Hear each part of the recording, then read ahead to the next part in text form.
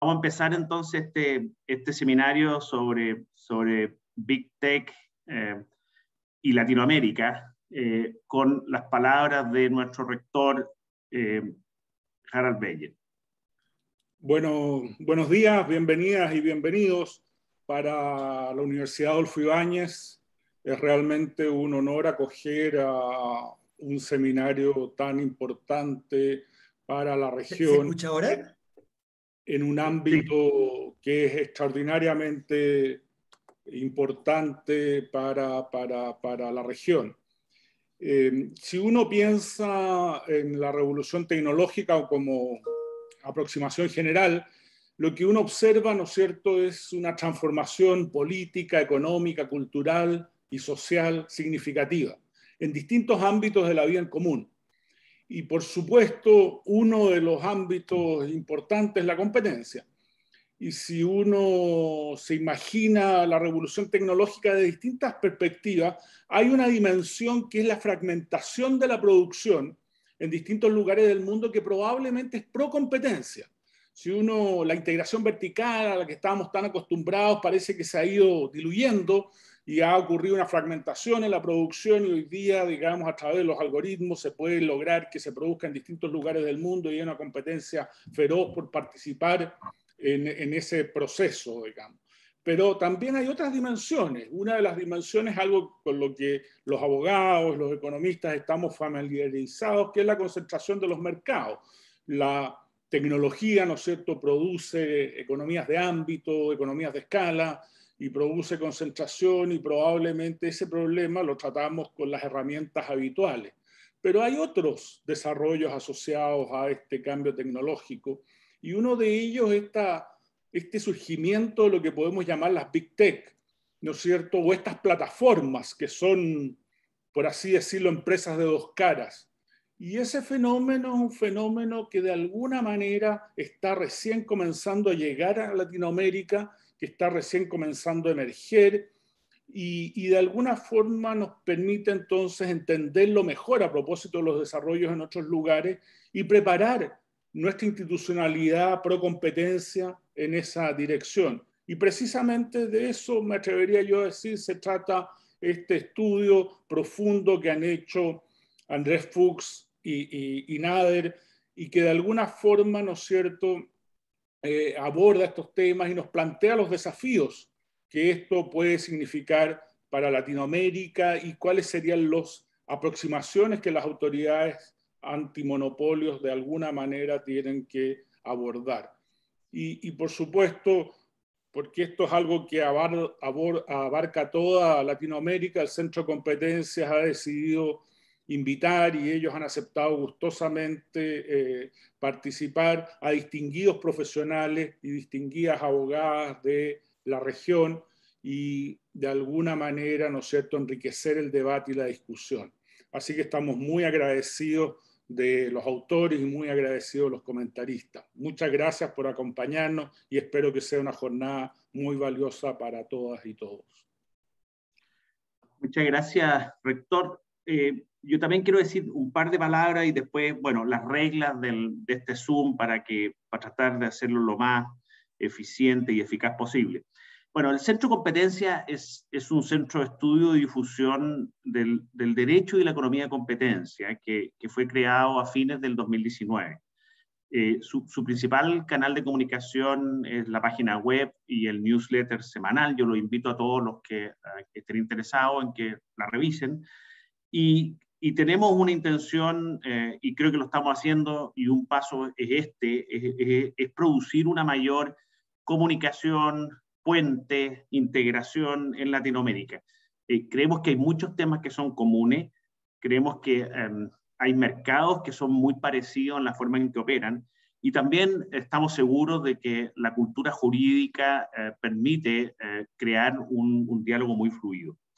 En relación con este proyecto, también quiero decir unas palabras. Bueno, eh, claramente queremos entender lo que está pasando afuera. afuera están pasando cosas. Cuando digo afuera, digo normalmente en, los países del norte, ¿no? básicamente Estados Unidos, Europa, eh, Inglaterra, Alemania, Francia, pero también, bueno, países como Australia, Japón, están pasando cosas, ¿no? Este tema, este tema de, de, una especie como de revisionismo o, no sé, una, una importancia adicional de la competencia, es, es, un tema que está sonando y está resonando en, en esas jurisdicciones, ¿no? De agencias sofisticadas. Eh, incluso eh, esto ha sido una buena noticia para los abogados de libre competencia, que y han llegado a estar o podrían estar en una categoría de casi sexy, digamos. ¿no? Eh, si ustedes revisaron una, hace, hace unos días atrás salió en el New York Times que, que había una demanda especial por abogados de competencia en Estados Unidos y en Europa. ¿no? y bueno, y, y, ahí cuando uno ve casos, situaciones que de alguna forma es una mirada parcial de lo que está ocurriendo, como que siempre quiere que alguien le destile las tendencias, las precise, ¿no? Eh, y además que alguien eh, que lo estudie, digamos, o quiere uno eh, revisar las encrucijadas esenciales, lo que está detrás, digamos, y no, no solamente, como decimos en Chile, la, chimuchina o, el caso concreto, específico, sino que tener una, una mirada un poquito más de, em, de gran angular, digamos, y, no, y no solamente de telefoto en relación a lo que, a lo que estamos mirando. ¿no? Y, y, también uno siempre quiere que se lo den resumidamente y en un lenguaje simple, ¿no? Eh, eh, obviamente. Eh, también en, en, SECO queremos, y, y, de nuevo, creemos que este, esta es una instancia en que lo estamos consiguiendo, de mirar esto como un tema regional. Y, y, yo creo que esto es especialmente relevante cuando hablamos de las grandes plataformas, porque son grandes plataformas que tienen modelos de negocio que son realmente globales. Y entonces aquí hay una cierta invitación a mirar esto desde una perspectiva regional y esto debiera tener o puede tener ciertos efectos. ¿no? Eh, y eh, lo importante, ¿no? Eh, y por eso están eh, distinguidos abogadas y abogados invitados que son uh, la crema la crema innata de, de, de, cada uno de esos países, digamos, en relación a la práctica, ¿no? en relación a dar consejo a, a, clientes de carne y hueso que tienen que tomar efectivamente decisiones. ¿no? Y ahí la pregunta es, bueno, ¿cuáles son las soluciones? O sea, no, no nos quedemos solamente en el deseo de esta integración regional, digamos, casi bolivariana, ni, tam ni tampoco en, en, ser meros observadores de lo que está pasando afuera, sino que también miremos, tratemos de mirar qué posibles soluciones o cómo debiéramos de enfrentar lo que es, es predecible que llegue a nuestra región. Y con eso evitar dos males de nuestra región, ¿no? que es la improvisación, por el lado especialmente de la autoridad y con todos los temas de incertidumbre que eso trae, y algo peor incluso, que es la frivolidad. Le encargamos entonces a dos distinguidos abogados chilenos, que eh, son Andrés y Nader, eh, que nos van a eh, explicar ahora a qué conclusiones y nos van a iluminar a qué conclusiones llegaron. Y como le, como le adelanté, le pedimos comentarios eh, a, un abogado o abogada por jurisdicción. Lo elegimos con pinza. Eh, y, es muy interesante, ninguno se negó. Nosotros sabemos que tienen la agenda ocupada y que esto le ha implicado aceptar más de un dolor de cabeza y, probablemente sacrificaron eh, un par de fines de semana. Entonces, vamos a tener eh, abogados de Argentina, de Brasil, de Chile, Colombia, Ecuador, México y Perú. Y los voy a presentar después en un, en un minuto más. Eh, todos los materiales desde ayer están en seco, ¿no? en la pestaña de diálogos. Entonces lo pueden revisar. Tanto el estudio de André y de Nader como los comentarios de eh, los, los distinguidos abogados de las distintas jurisdicciones. Vamos a las reglas de este Zoom y con esto termino. Eh, Nader y André, eh, y vamos a ser eh, draconianos para que eh, podamos de nuevo eh, aumentar la eficiencia de este Zoom, Nader y André van a tener 25 minutos para explicar su, estudio de, más o menos 50 páginas. Y después le vamos a pedir y vamos a hacer tres bloques en donde vamos a invitar, en relación con preguntas abiertas que le vamos a formular, vamos a invitar a, nuestro, a nuestros comentaristas a explicar algún punto que quieran explicar en siete minutos. Y por último, en el tiempo restante, los 30 minutos restantes, vamos a tener una discusión abierta con algunos temas que ustedes como público nos quieran proponer y otros que nosotros también tenemos pensado eh, formularle eh, a los comentaristas y también a los autores. Eso por el lado mío, eh, y entonces le paso la palabra a los autores del estudio.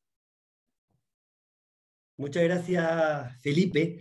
Parto, parto por lo primero y más importante, que es agradecer al, al, Centro de Competencia eh, la invitación a participar de, eh, contribuyendo con este artículo, sobre todo para generar, generar debate. Eh, yo, creo que como, como invitados a, hacer el, este artículo, lo que más nos no, llamó la atención fue esta obligación de tener que motivarnos a pensar un tema que hoy día está dando vuelta, que hoy día es parte de la agenda de la política pública, que es parte de la agenda eh, de, libre competencia. Y entonces era un desafío poder buscar cómo desde Latinoamérica eh, poder decir algo que no sea únicamente, como decimos en el trabajo, copy-paste de lo que está, de lo que está pasando, pasando afuera. Así que parto entonces por agradecerte a ti, sobre todo al, equipo también del Centro de Competencia, que fueron un gran, un gran apoyo. Además, aceptar este, este desafío, eh, para todos quienes conocen a, Felipe, no es fácil, porque, porque con las motivadoras palabras de Felipe, lo que hace es traspasarte una carga. Y, y te dice, ustedes tienen que hacer este, este trabajo, lo tienen que hacer bien, y para eso van a tener poco tiempo y probablemente sean muy criticados. Eh, entonces, después de esa palabra es fácil querer tomar este, este desafío. Y, si, cuento esto porque al final el que fue notable acá, para, y, parto también por agradecerle a mi, mi coautor Nader Mufdi, que fue el que logró poder traer la motivación al, al equipo después de esas palabras de, de, Felipe. Así que probablemente todas las buenas ideas que puedan recoger son mérito de, de Nader. Y que no les gustan tanto, la, la responsabilidad es compartida, pero, pero dicho eso, y, en lo que queda de, estos minutos, el objetivo eh, que quiero tratar de, hacer no es tanto resumir el texto, sino ser un poco más provocativo a efectos de poder invitarlos a que lean el, texto. Probablemente en el texto entonces encuentren mejores ideas y soluciones que las que puedan salir ahora en esta, en, esta conversación. Y, querer ser provocativo en, esto, en este tema es en realidad una mala idea. Eh, en mercados que uno sabe tan poco, en mercados que son dinámicos y en mercados en los que van a cambiar necesariamente lo que hoy día pensemos con lo que ocurra en cinco años más, probablemente uno, de, si es inteligente, debiese ser dueño de su silencio. Eh, entonces, ya somos esclavos de más de 50 palabras con Nader y querer además decir cosas nuevas en, esta, en estos breves minutos es, es probablemente una muy mala idea. Eh, por eso es que citando al, al, gran Carlos Caselli, quiero, quiero dejar en claro que uno no tiene por qué estar de acuerdo con, con lo que dice. Y entonces son básicamente ideas para tratar de, de, poner temas en el debate a las que no necesariamente uno, uno va a escribir. Ahora, ¿por qué, ¿por qué es interesante este tema? Y, yo creo que hay varias razones de por qué este tema es tan interesante. Eh, y es interesante primero porque ha sido un revival de la libre competencia a, a nivel mundial. Yo creo que esto decía Felipe, hoy día somos los abogados sexy lo fue, hasta hace tiempo éramos abogados quizás de, casos de carteles nomás, pero hoy día somos abogados que están de alguna manera en la palestra de las regulaciones de política, de política pública. Hoy día, además, estamos tratando con, con Big Tech, cosa de la que en general uno como, abogado que con suerte se maneja en, Zoom, menos todavía eh, logra tener los conocimientos sustantivos eh, de, poder empezar a regular o entender siquiera, siquiera estas plataformas. Pero son temas que están dando vuelta porque lo que nos ha tocado en el mundo es volver a lidiar con monopolios. Y cuando entramos esa palabra de monopolios, entendemos probablemente por qué estamos aquí ahora. Porque si es que hay algo que, la libre competencia se ha dedicado siempre, es a luchar contra el poder de mercado. Y si hay algo en común que tienen todas las grandes plataformas de Big Tech, es ese poder de mercado, el poder de mercado que tiene Facebook en el mercado de las redes sociales, el poder que tiene Google en relación con las búsquedas digitales y la publicidad, o el poder que tiene Amazon en el retail eh, electrónico. Y hasta ahí uno podría decir que no hay mayor desafío nuevo más allá del mercado específico, porque estamos lidiando con actores que tienen poder de mercado. Pero donde yo creo que sí hay algo que es muy novedoso, está en lo que uno podría empezar a, analizar desde, desde, la perspectiva del, del mercado relevante geográfico. Porque a diferencia de lo que estábamos acostumbrados hasta el día de hoy con monopolios locales, nacionales o en el mejor de los casos regionales, hoy día más bien tenemos monopolios mundiales. Eh, con mayor o menor participación de mercado, pero estas empresas son grandes y, las economías de red que generan hacen que lo tengamos que debatir en Latinoamérica, en Estados Unidos, en, en, Europa y también en Asia. Y probablemente las respuestas que se den en una u otra jurisdicción van a generar necesariamente una serie de efectos dominó que van a importar el, el cómo van a terminar siendo, siendo regulados. Y por eso es que como jurisdicción probablemente uno no puede quedar fuera porque tiene dos opciones. O espero que el resto haga la pega por mí, o trato trato de, de, hacerla, pero hacerla supone entenderla, porque si no también los riesgos eh, de, de, hacerla mal son particularmente altos en este tipo de mercados tan sensibles y, tan complejos. Pero, pero entonces, si, si, si, lo que está más o menos claro es que estamos regulando monopolios, yo creo que surgen tres preguntas que son las preguntas históricas que han habido cuando uno analiza el, el derecho de, desde una perspectiva histórica de la libre competencia. La primera de estas preguntas tradicionalmente frente a los monopolios es cómo se debe responder a los monopolios, por medio de una economía libre o a través de economías eh, más bien planificadas. Esta, es una discusión bastante histórica y típica, pero luego si es que creemos que a los monopolios se les debe combatir con economías abiertas, con economías de mercado, la pregunta que surge, bueno, ¿cuál es el rol de la libre competencia dentro de, esa economía de mercado para efectos de combatir los monopolios o, lo, o los grandes actores de, la, Big Tech en este caso? Y si finalmente estamos de acuerdo que se tiene que combatir con economías abiertas, donde la libre competencia tenga un, rol crucial, la tercera pregunta que va a surgir, bueno, entonces, ¿cuál va a ser el diseño institucional para realizar esa, esa lucha? Y estas tres preguntas son de alguna manera las que creo que están detrás del, de, del artículo que escribimos y respecto a las cuales quiero dar algunas, algunas ideas en lo que sigue. Sobre, sobre, la primera pregunta me parece más o menos evidente. Todos quienes estamos en este seminario estamos por algo, ¿no? Y si estamos acá, probablemente es porque entendemos que efectivamente lo que hay que proteger es el mercado, lo que hay que proteger es, la competencia. Y entonces la, las soluciones que vienen de economías planificadas, dejémosla para debates presidenciales, pero acá podríamos darla, darla por superada. Y entonces la, la, la segunda pregunta ya pasa a ser más relevante. Si es que estamos de acuerdo en lo anterior, ¿cuál va a ser el rol de la libre competencia? Y, acá hay una respuesta tradicional a la que creo que hay que hacerle un matiz. Tradicionalmente se puede decir, bueno, la, la competencia lo que tiene que hacer finalmente es regular monopolios. Y, y, yo creo que acá hay, hay, una pregunta que es una respuesta que es más precisa y más correcta. Lo que tiene que hacer la competencia es regular la competencia, es promover la competencia. Y lo que ocurre es que como una de forma de promover la libre competencia en los mercados está finalmente la que uno puede llamar la triquificación de monopolios naturales como forma de promover la competencia. Pero el objetivo tiene que estar en cómo promuevo la competencia más que en cómo regulo el, el, el monopolio. Esa, esa, es una forma que creemos de, de, de, de, comprender el problema. Y entonces, ¿cómo promovemos la, la competencia? Competencia y acá entra nuestra, nuestra respuesta mágica, quizás lo, más interesante de lo que decimos, que es a través de soluciones híbridas institucionales. Eh, ¿Y qué son esto de las soluciones híbridas institucionales, además de un bonito, de un bonito nombre?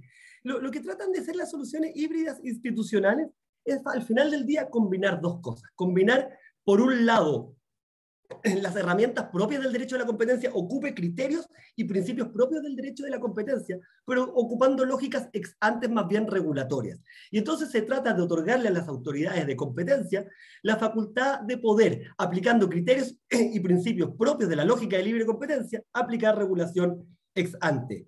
Y, varios de los que conocen la jurisdicción chilena, nos podrán responder en este minuto, bueno, lo que ustedes están proponiendo más allá de, del nombre es, es, poco creativo, si al final le están proponiendo las denominadas instrucciones de carácter general. Eh, y, la respuesta es sí, eso es lo que estamos proponiendo en realidad, porque las instrucciones de carácter general, que, es una, herramienta muy importante, tienen estas características. De, acuerdo con, una resolución reciente del, de, del Tribunal de Defensa de la Libre Competencia, esas instrucciones persiguen precisamente, uno, promover la libre competencia, y dos, precaver atentados contra la libre competencia, que es precisamente lo que persiguen estas soluciones híbridas institucionales. Y además se pueden realizar de oficio eh, por el tribunal y tienen un ámbito de control de revisión judicial, que podemos discutir el, el, alcance y extensión que debe tener, pero evidentemente entendemos que estas soluciones híbridas institucionales no pueden quedar alejadas de lo que sea una revisión, una revisión judicial, como parte también de un mecanismo de check and balance de los distintos de los distintos poderes del Estado. De modo que eh, en realidad si algo está detrás, pensando en el, en, el, en el, caso chileno, es que creemos que las instrucciones de carácter general, en tanto soluciones híbridas institucionales, es probablemente la herramienta más potente que tiene cualquier autoridad de competencia. Eh, y, obviamente como herramienta potente que es, hay que ser súper cuidadoso al usarla, pero hay que usarla y hay que empezar a, darse cuenta en qué mercados son útiles. Y esto que es propio del, del caso chileno, existe también en, otra, en otras jurisdicciones. Acá, acá vamos a. Eh, eh, colegas de, Ecuador y de México, donde efectivamente en el mercado de las telecomunicaciones tienen también una solución híbrida institucional muy interesante, porque supone un análisis en dos pasos, analizar el mercado de las telecomunicaciones a efectos de determinar si estructuralmente hay alguna falla derivada de, de, de posiciones eh, de dominio, y luego, en caso de haberla, poder regularla con medidas regulatorias específicas que son por tiempo, por tiempo limitado. La diferencia quizás, y esto es un tema para dejar en, en, en, debate, es que esas facultades finalmente están radicadas en autoridades más bien de telecomunicaciones y no en autoridades de competencia, lo que hace dejar desde ya la pregunta, cuya respuesta en nuestra posición se encuentra en el paper, sobre quién debe tener estas soluciones híbridas eh, institucionales. Eh, y finalmente, solo, solo para terminar, quiero, quiero hacer una, una pequeña anécdota, ¿no? Anécdota de, de, libre competencia. Ya, yo, yo, he dicho que las tres grandes preguntas... Que las tres grandes, grandes preguntas que tenemos que, que contestar de, de, de, alguna manera fueron parte de un debate presidencial, y no, y no me refiero a un debate presidencial reciente, sino más bien de probablemente la más importante elección presidencial que ha habido en Estados Unidos, eh, al menos en lo que dice, en lo que dice libre, libre competencia. Y, y me refiero a la elección de 1912. Y si uno dice, bueno, elección de 1912 suena raro, ¿qué es lo que estaba pasando en 1912? 1912 es el año siguiente a Standard Oil, el año siguiente al caso tabaco, el año donde se debatía en Estados Unidos qué se hacía con los grandes monopolios, tal como hoy debatimos qué hacemos con las grandes Big, Tech. Y esa elección de 1912 tuvo al menos tres particularidades que vale la pena eh, ya, comentar. La primera es que es la elección competitiva más, la elección más competitiva que hubo en Estados Unidos. Es la última en la que hubo cuatro candidatos. Es la última en la que el segundo candidato no pertenecía a los partidos tradicionales o grandes, ¿vale? o incumbentes, si queremos ocupar palabras de libre competencia. Es la única donde hubo tres candidatos que finalmente fueron presidentes de Estados Unidos. Roosevelt, que había sido presidente, Taft, que era, era presidente en aquel minuto, y Woodrow Wilson, que finalmente fue, fue el que ganó. Y solo para no pasar el tiempo, voy a soltar una serie de anécdotas más. Pero voy a terminar con comentar quién era el, asesor económico de, Woodrow Wilson. El asesor económico en temas de competencia no, no anda, solo para dar dos pistas, no era, no era ni siquiera alguien que hacía tweets citando sus publicaciones en revistas indexadas, sino que era alguien conocido como el abogado del pueblo. Pero era el abogado del pueblo no por ser como el, ciudadano Logan que iba a, lo, a, los matinales, aun cuando eh, hay que decir que litiga también esa competencia, sino que era el abogado del pueblo porque le había ganado a las grandes corporaciones. ¿Y quién era ese abogado del pueblo? No era nada más ni nada menos que Luis Brandeis, quien finalmente fue Justice Brandeis gracias a Woodrow Wilson.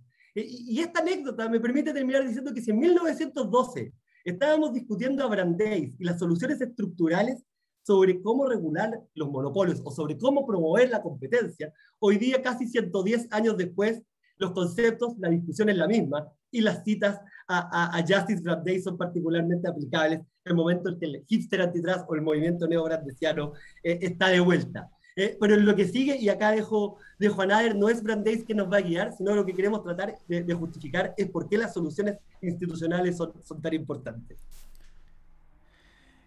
Eh, gracias, Andy. Eh, bueno, antes que nada, y, de ir a, a, esa, a esas justificaciones, agradecer a, a, la Universidad Adolfo Ibáñez, eh, a, SECO, al Centro de Competencias, Felipe y también muy particularmente a, Julio Tapia por todo el apoyo durante este proceso y la invitación, ¿no? Siempre los abogados nos quejamos de que estamos, nuestro trabajo eh, se basa en estar mirando, analizando el pasado y es realmente un privilegio y súper refrescante tener este, eh, en la mesa este desafío de, pensar eh, en el futuro, ¿no? Que es lo que el desafío en que consiste eh, explorar soluciones de cara a las fallas de mercado en los mercados digitales. Sobre, sobre, digamos, las justificaciones de, esta, de esto que llamamos eh, soluciones institucionales híbridas, la invitación, eh, la primera invitación es, a pensar en, en, dos imágenes, en dos, en dos fotos, ¿no? Una primera foto eh, que muestra el enforcement del derecho de la competencia, digamos, ex post, como lo conocemos tradicionalmente en mercados digitales, particularmente en Europa, ¿no? y una segunda foto que muestra la realidad del desarrollo digital en América Latina. Enfoquémonos por un instante en la primera foto. Eh, en principio, a partir de, lo que hemos visto en la experiencia comparada, muy particularmente en Europa, en que se han tomado, al parecer, un poco más en serio esto de, lidiar con eh, el exceso de poder de mercado en los mercados digitales, es posible advertir que, el enforcement ex post del derecho a la competencia no ha resultado del todo satisfactorio. Eh, y esto al menos por tres, tres consideraciones. Primero tenemos un tema de temporalidad. El dinamismo en los mercados digitales hace que las soluciones que no son oportunas eh, no sean soluciones. Eh, y el problema eh, en este sentido es que las reacciones ex post del derecho de la competencia en general han llegado tarde. Ese es un, primer llamado de alerta.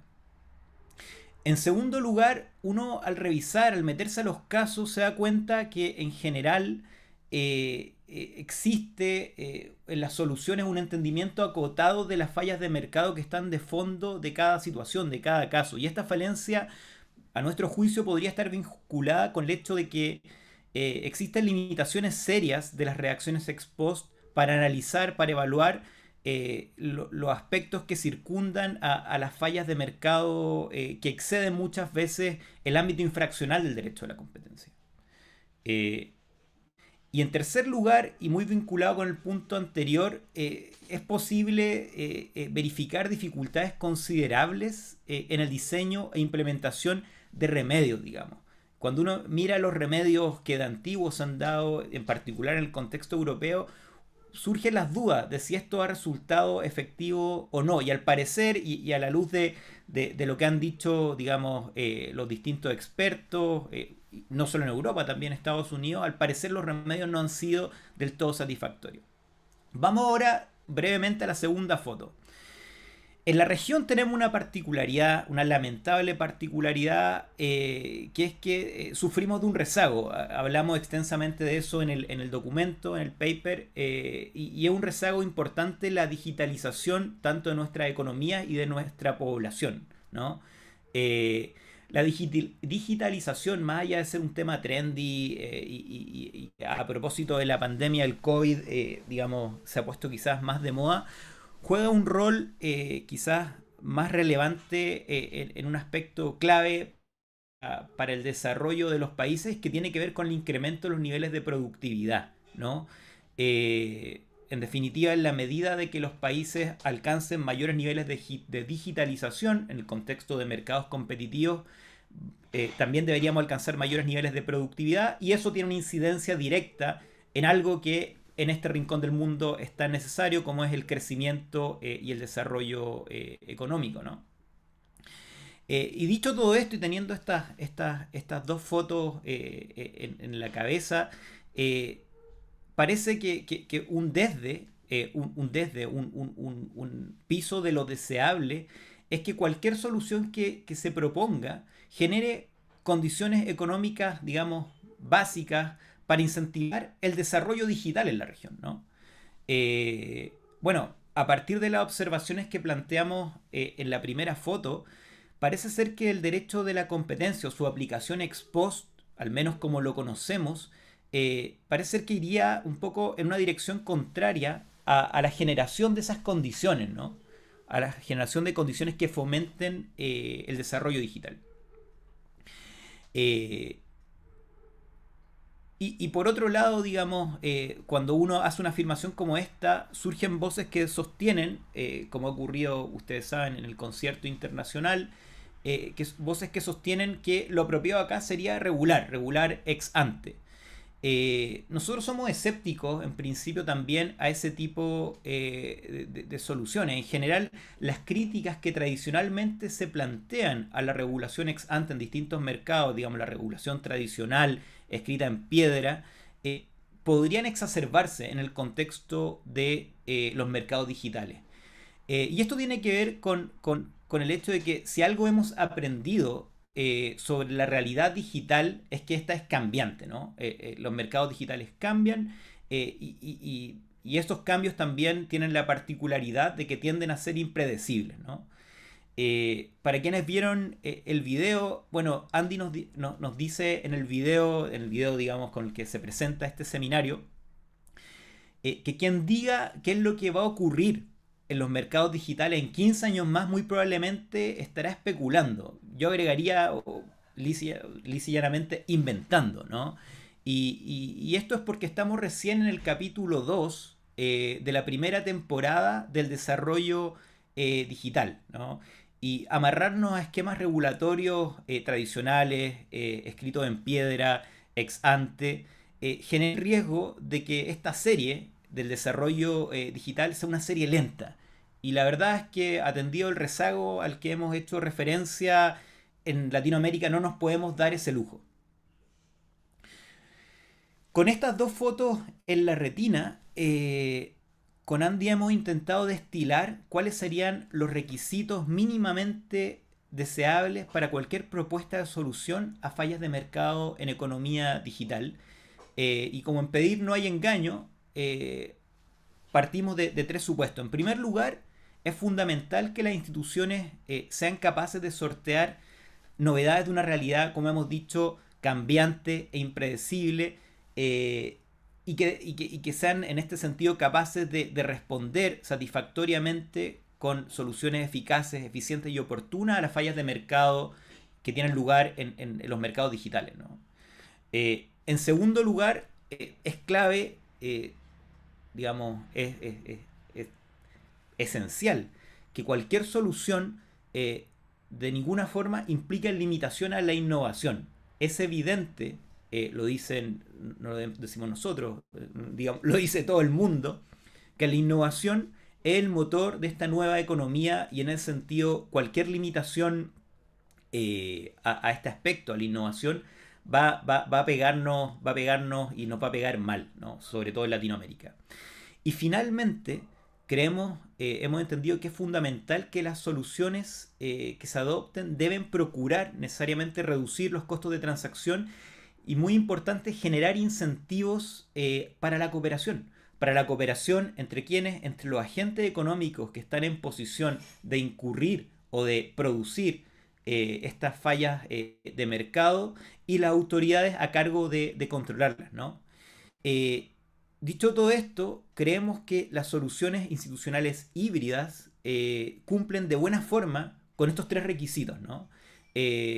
o al menos eh, siendo no tan optimistas, cumplen de mejor forma que eh, la aplicación ex post del derecho de la competencia tal como lo conocemos o la regulación ex ante eh, escrita en piedra, no la regulación ex ante pura.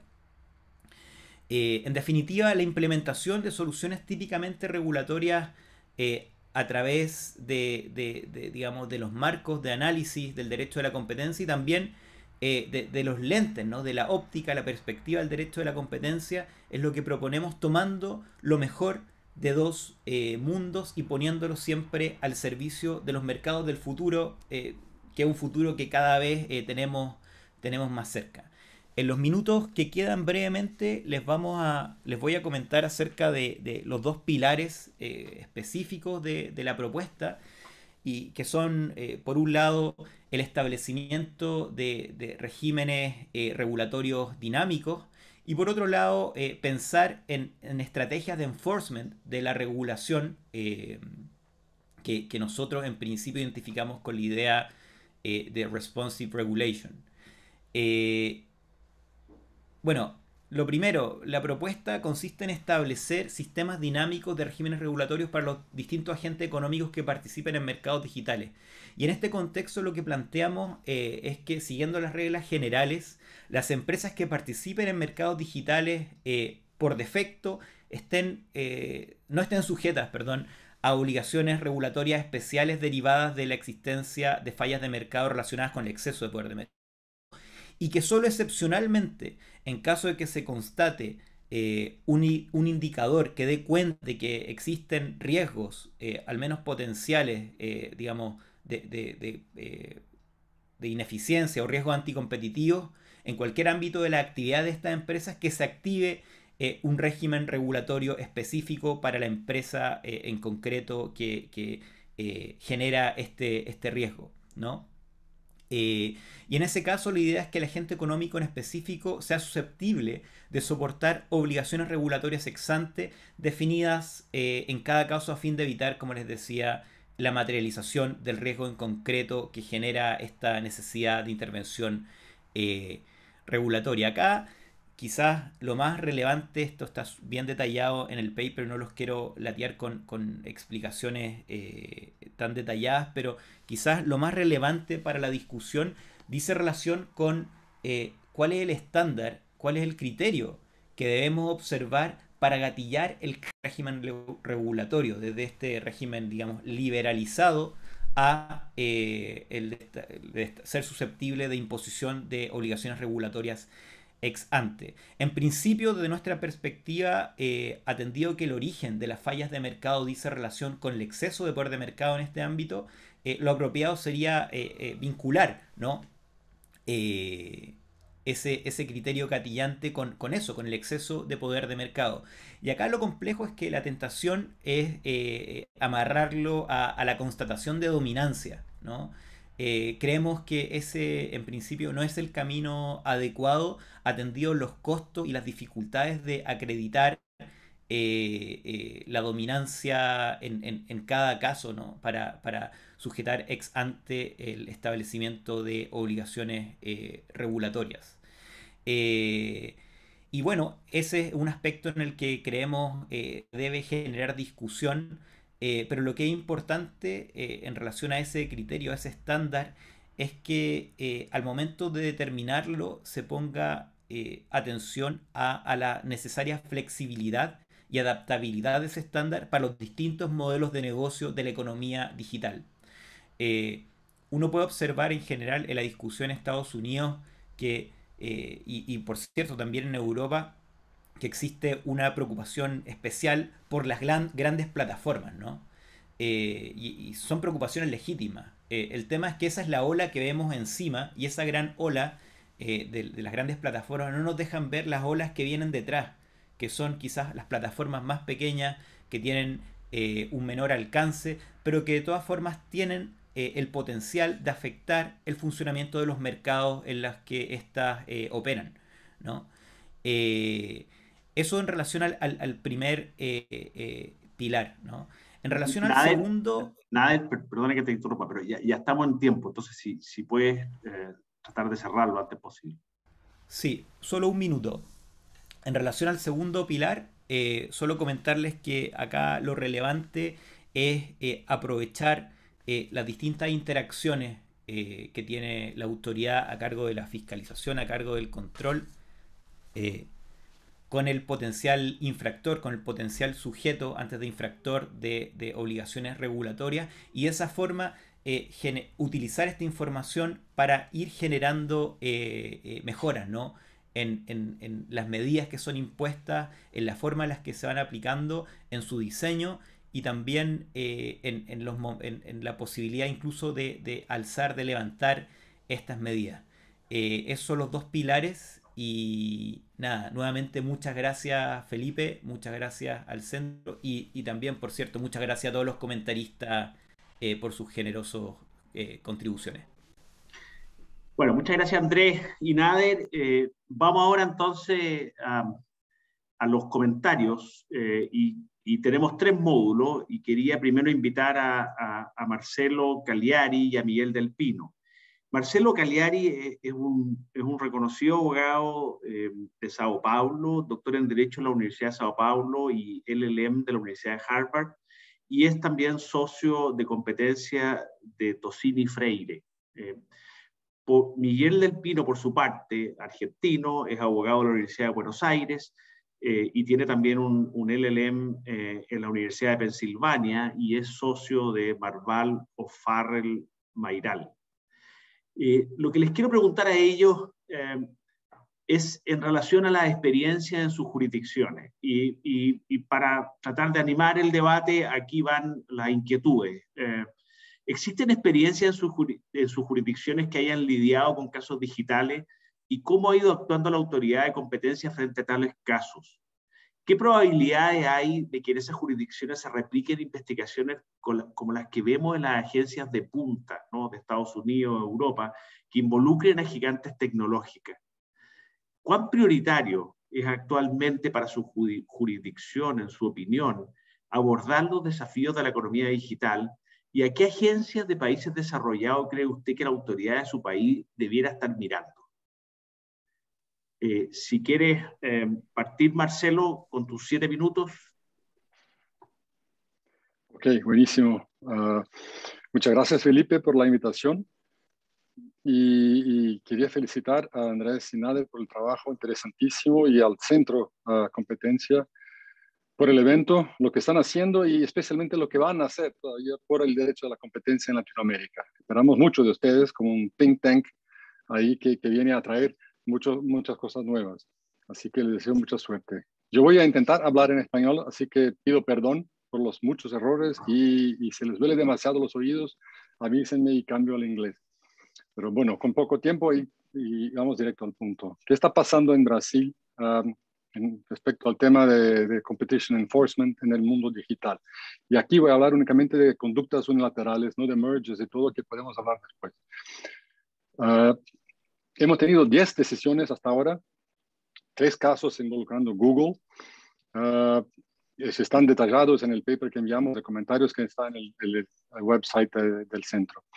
Y hay 10 otros casos uh, en curso, en investigación ahora en la autoridad. Y habrán muchos más, eso no hay duda. En el sector financiero, algo que podemos hablar después, es un foco, una prioridad máxima de la autoridad, por ejemplo, de asegurar entrada para pequeños fintechs y todo. Pero uh, lo que tenemos hasta ahora, estos 10 casos, es principalmente un escenario de una autoridad bien cautelosa, y eso explícitamente.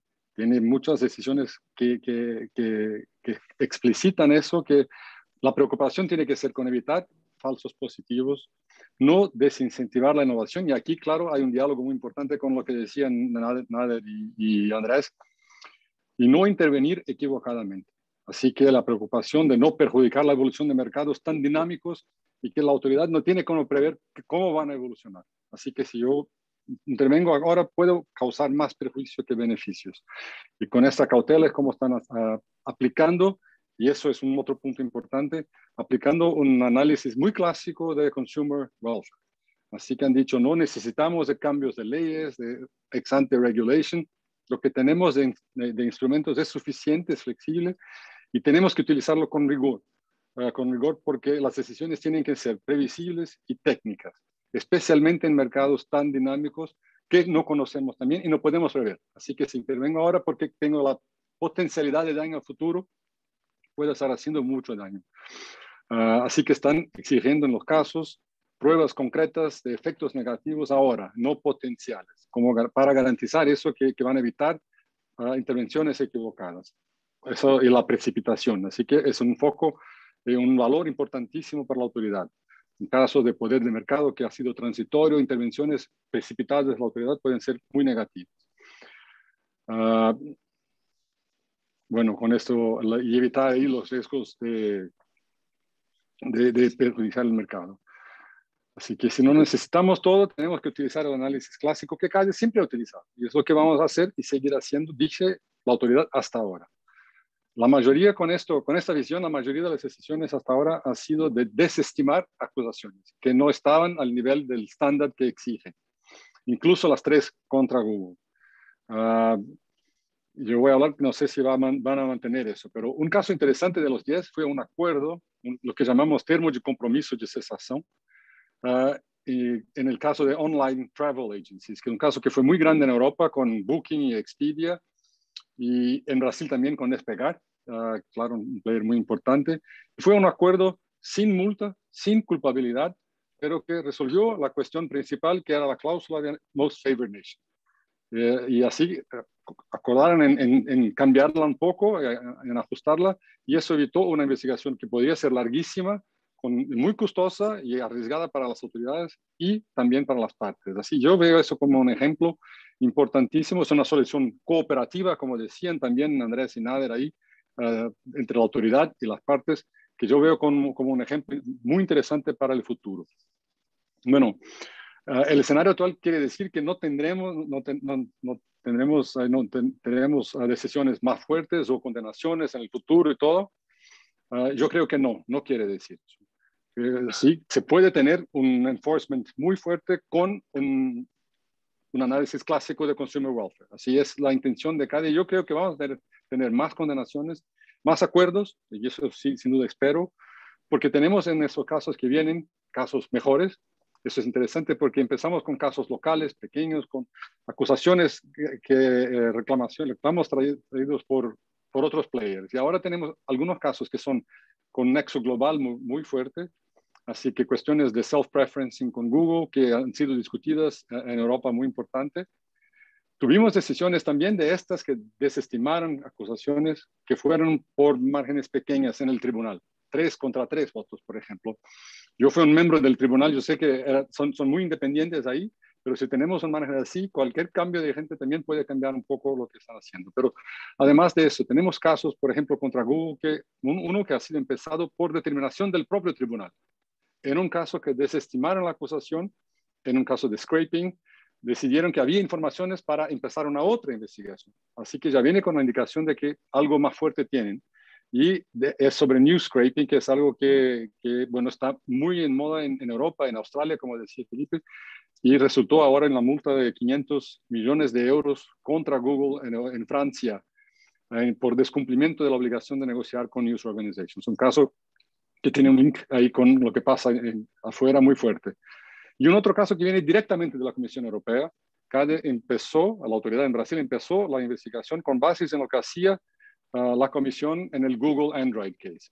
Así que la, de, relaciones contractuales con operadores ah, de, de, celulares y, y, fabricantes. Y eso pasa mucho en Brasil. Empiezan investigaciones con bases en lo que está pasando afuera, si es una práctica que puede tener efectos en Brasil.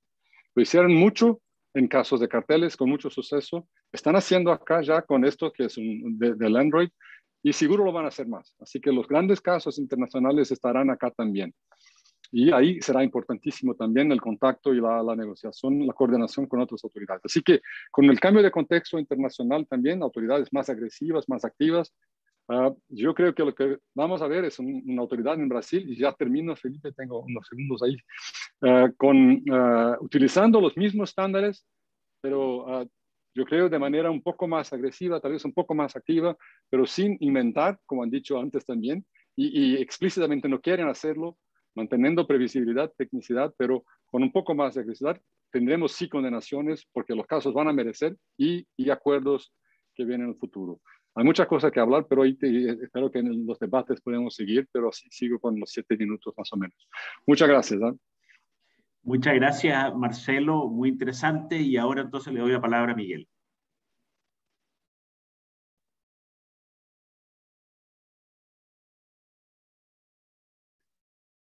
Ahí no, no se te escucha, Miguel. Uy, bueno, gracias, Felipe. ahora sí, ahora sí. Ahora sí. Bueno, repito entonces, buenos días a todos. Muchas gracias al Centro de Competencia por esta invitación. Felipe, muchas gracias por tu invitación. Felicitaciones, Andrés y nada, porque el trabajo, la verdad que es muy, muy bueno. Súper interesante el tema y, me divertí mucho leyéndolo y pensando. Y además de escucharlos, Andrés y Anader, eh, más allá de lo que pasa en la Argentina, me vienen a la cabeza un montón de cosas que me gustaría conversar con ustedes, este, más allá de, la experiencia de lo, que estamos, de lo que está haciendo la autoridad acá en Buenos Aires.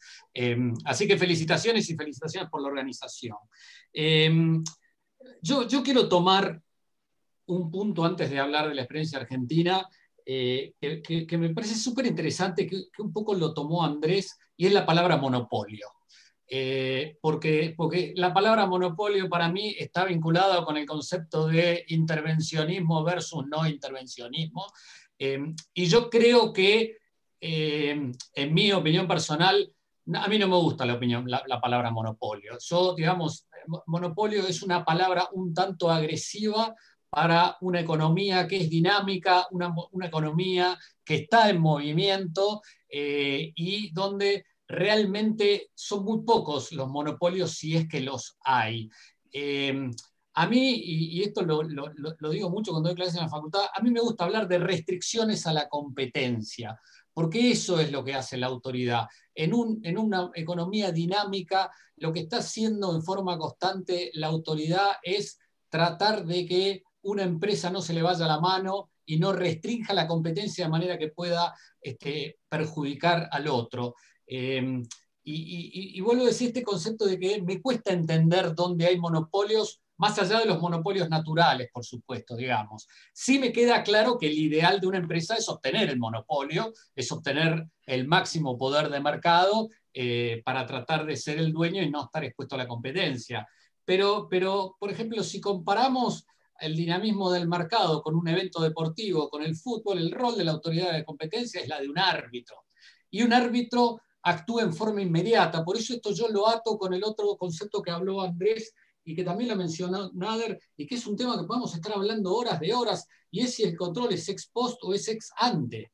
Es decir, eh, yo soy también un fiel, un fiel creedor de que el control ex ante es adivinar, es este, tratar de buscar parámetros para adivinar lo que va a pasar, cuando en realidad el rol de una autoridad es, y, y acá sí me encantaron las dos soluciones que proponen Andrés y Nader, es ser dinámico en la respuesta, es estar viendo lo que pasa y actuar en forma inmediata.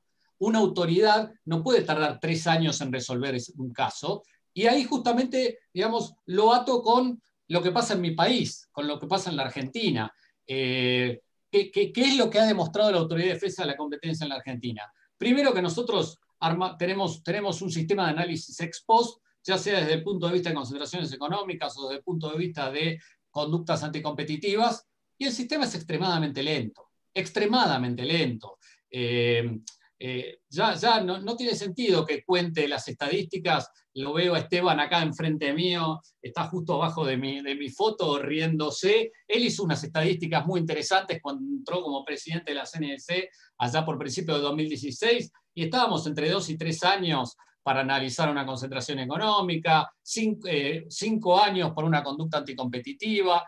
Claramente eh, cuando vamos al sistema ex post y ex ante, eh, un sistema ex post tan lento no sirve, no funciona. Eh, digamos, ¿para qué tenemos una autoridad de defensa de la competencia? Yo creo que no, no, no vale la pena tener. Ahora, ¿cuáles son las voces contrarias que se escuchan en mi país? Como no tenemos capacidad de controlar ex post, controlemos ex ante, porque es más fácil. Y ahí es donde adivinamos.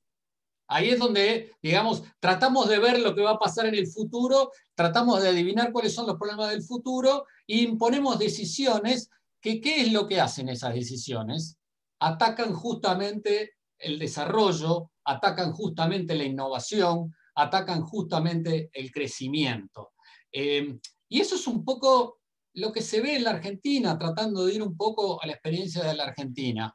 Eh, Felipe preguntaba, ¿han tenido casos? Sí, hemos tenido casos. Hemos tenido y tenemos, ahora voy a contar uno que tenemos, eh, hemos tenido muchos casos desde el punto de vista de concentraciones económicas, se han analizado unas cuantas concentraciones económicas y tenemos unas cuantas conductas anticompetitivas.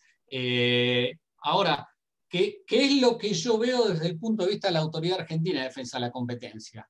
Que tiene muy buena capacidad para leer los diarios, tiene muy buena capacidad para leer reportes internacionales, tiene muy buena capacidad para, en las reuniones del ICN, escuchar qué es lo que están haciendo las otras autoridades y copiarla. Entonces, con bombos y platillos, iniciamos una investigación contra Google por los problemas que tiene en el online advertising. Ahora, después de los bombos y platillos, pregunta, ¿Tiene capacidad esa autoridad de analizar esa transacción? ¿Entiende esa autoridad los problemas que está generando la competencia? ¿Tiene recursos para entenderlos? Lamentablemente, y acá hablo desde la Argentina, la respuesta es no. Entonces, ¿qué pasó con esa, con esa investigación que se inició ya por el, por el 2013 o 2014 y en la que yo participé? Quedó como nosotros llamamos cajoneada. Digamos, no pasó nada. Eh, se, llamaron audiencias, se pidió información, se estudió, se, proveyó de un montón de información. Los abogados cobramos muy buenos fees por esa investigación. Intervinieron abogados americanos, abogados europeos, abogados argentinos. Pero ¿qué pasó con esa investigación? No pasó nada. Y entonces esto lo quiero atar con el principio de mi presentación. No sirve el control ex post lento. O sea, para mí y en mi visión el control tiene que ser ex post, pero tiene que ser inmediato y tiene que ser, y por eso me buscaron, me gustaron mucho las dos soluciones que presentan Andrés y Nader, Nader perdón, tienen que ser en, total contacto con la parte, porque la parte es la que le ayuda a la autoridad a entender el mercado, a entender, digamos, a dónde están situados y cómo pueden resolver esa situación. ¿Mm?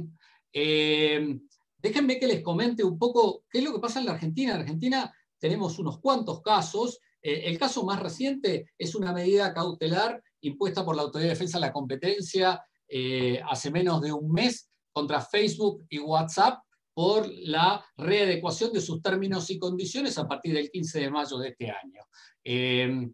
Lo que dice la autoridad en, una decisión que está colgada en la página web de la Comisión de Defensa de la Competencia, con lo cual los invito a todos a leerla, es que en base a la jurisprudencia internacional y en base a los precedentes que se están generando en otras jurisdicciones, la autoridad ha resuelto analizar de oficio este caso y ha descubierto que el ajuste de los términos y condiciones eh, que realiza WhatsApp eh, en línea directa con su controlante Facebook, lo que produce es abuso de posición de dominio exclusorio y eh, abuso de, em, ¿cómo se dice? Eh, exclusorio eh, y, ay, no me sale la palabra, y explotativo. Explotativo. Perdón que no me salía la palabra. Uno empieza a hablar de las palabras, no salen. la verdad que un comentario lo resuelve como medida cautelar. ¿Se acuerdan que yo les decía que eran cinco años para resolver un caso en la Argentina? En realidad no es, son cinco años para resolver un caso, es el plazo de prescripción que está previsto en la ley. Eh, con lo cual, eh, resolver por medida cautelar o dictar una medida en la Argentina termina siendo una decisión de fondo. Freno, suspendo la aplicación de estos términos y condiciones por el abuso de posición de dominio que genera tanto desde el punto de vista exclusorio como desde el punto de vista explotativo, eh, y después me tomo todo el tiempo del mundo para analizarlo. Eh, este es un caso súper reciente, es un caso que tiene menos de un mes, eh, que sigue precedentes que hay en otras jurisdicciones y tengo entendido que hasta Chile mismo está analizando este caso y también ha, tomado una decisión similar. Ahora, a, mí, a mí lo que me preocupa acá es, primero, esta necesidad que hay de copiar lo que hacen las otras autoridades sin tener una capacidad real para analizar el tema.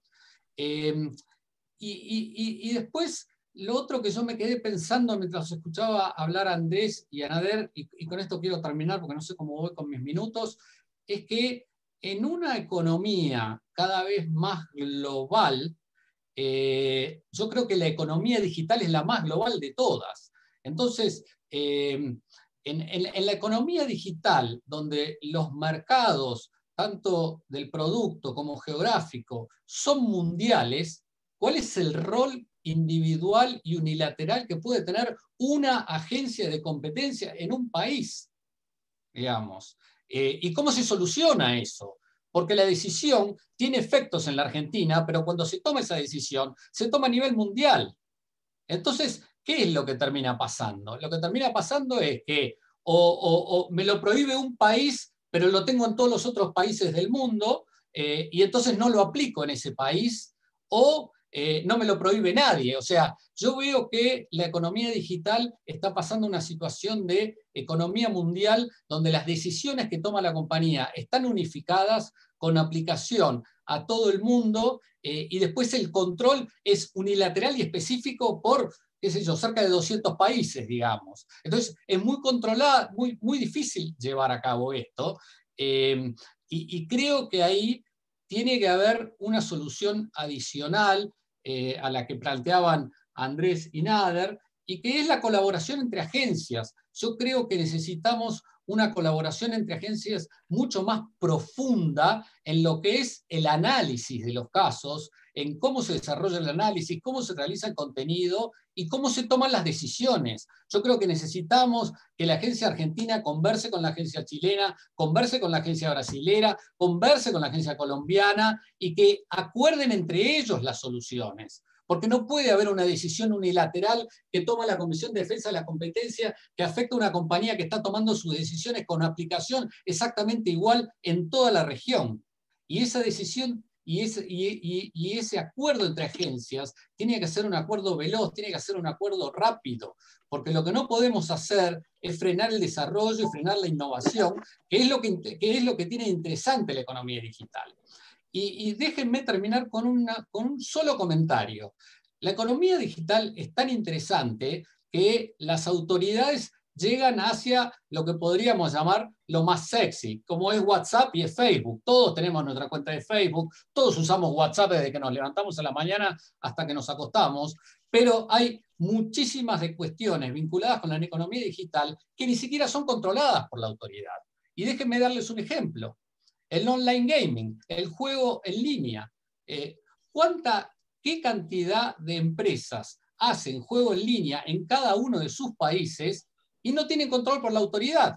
¿Y por qué no tienen control por la autoridad? Y porque la compañía es de la isla de Man, eh, su hub está en Costa Rica y desde Costa Rica opera en la República Argentina eh, con apuestas, con juego de póker, con apuestas deportivas, con todo tipo de juego online. Y no tiene control. Ahora, ¿Por qué no tiene control? Y esto va al mismo concepto cuando yo les decía que la autoridad no tiene capacidad para analizarla. No tiene control porque la autoridad no lo entiende.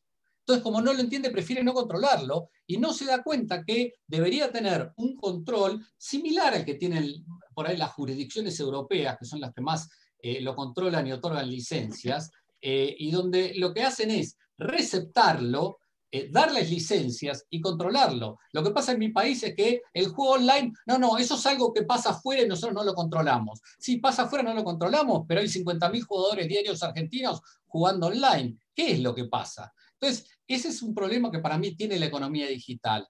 Es tan grande, tan compleja, que la autoridad llega hacia lo que son los casos sexys, usando la palabra de Felipe, digamos. Pero hay un montón de casos que están absolutamente fuera del control.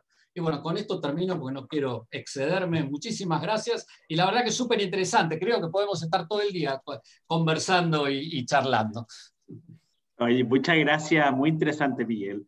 Y ahora eh, vamos a movernos al, al, al bloque sobre el marco institucional. Y aquí le quiero pedir a una distinguida eh, abogada ecuatoriana, eh, a María Rosa Favara, y también a un distinguido abogado peruano, eh, Carlos Patrón.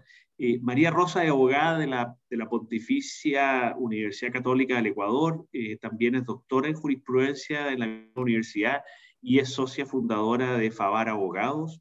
Y Carlos, por su parte, es licenciado en Derecho en la Pontificia Universidad Católica del Perú y tiene un máster en la Universidad de Oxford y también en la Universidad de Yale y es socio de Payet Rey Cauvi Pérez.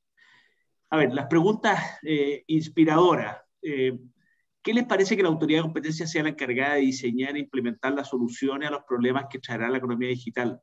¿Será capaz y la agencia carecería de conocimiento en los mercados digitales o está montada en una estructura institucional débil, como de alguna forma sugieren María Rosa y Carlos?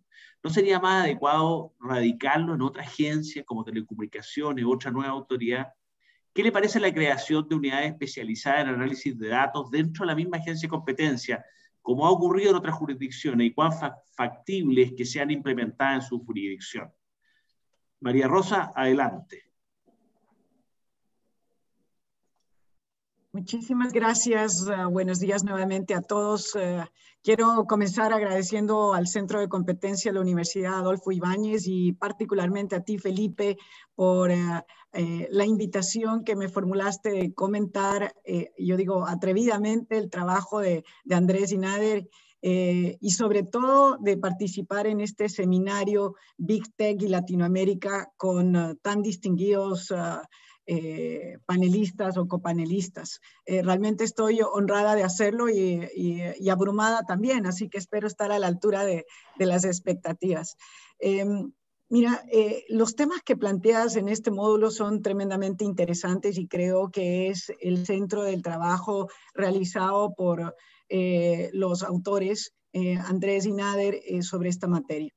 Todos estamos absolutamente conscientes de que eh, esta economía digital ha, transformado el, mundo eh, en los últimos años. Y creo que eh, también todos podemos coincidir que a consecuencia de la pandemia ha tenido un acelerado crecimiento en, yo creo que en todas las jurisdicciones. No puede, no, puedo imaginarme una jurisdicción en la que no haya tenido un impacto tan eh, importante como lo ha tenido en cada una de nuestras jurisdicciones y lo eh, veo por los comentarios o lo oigo por los comentarios y también lo, he visto por eh, los trabajos que se han realizado y ya los autores lo han mencionado. En el Ecuador, eh, el, ah, el, impulso que ha tenido el mercado digital eh, es impresionante eh, y vino para quedarse. O sea que esto es tremendamente importante que una autoridad de competencia tenga en consideración.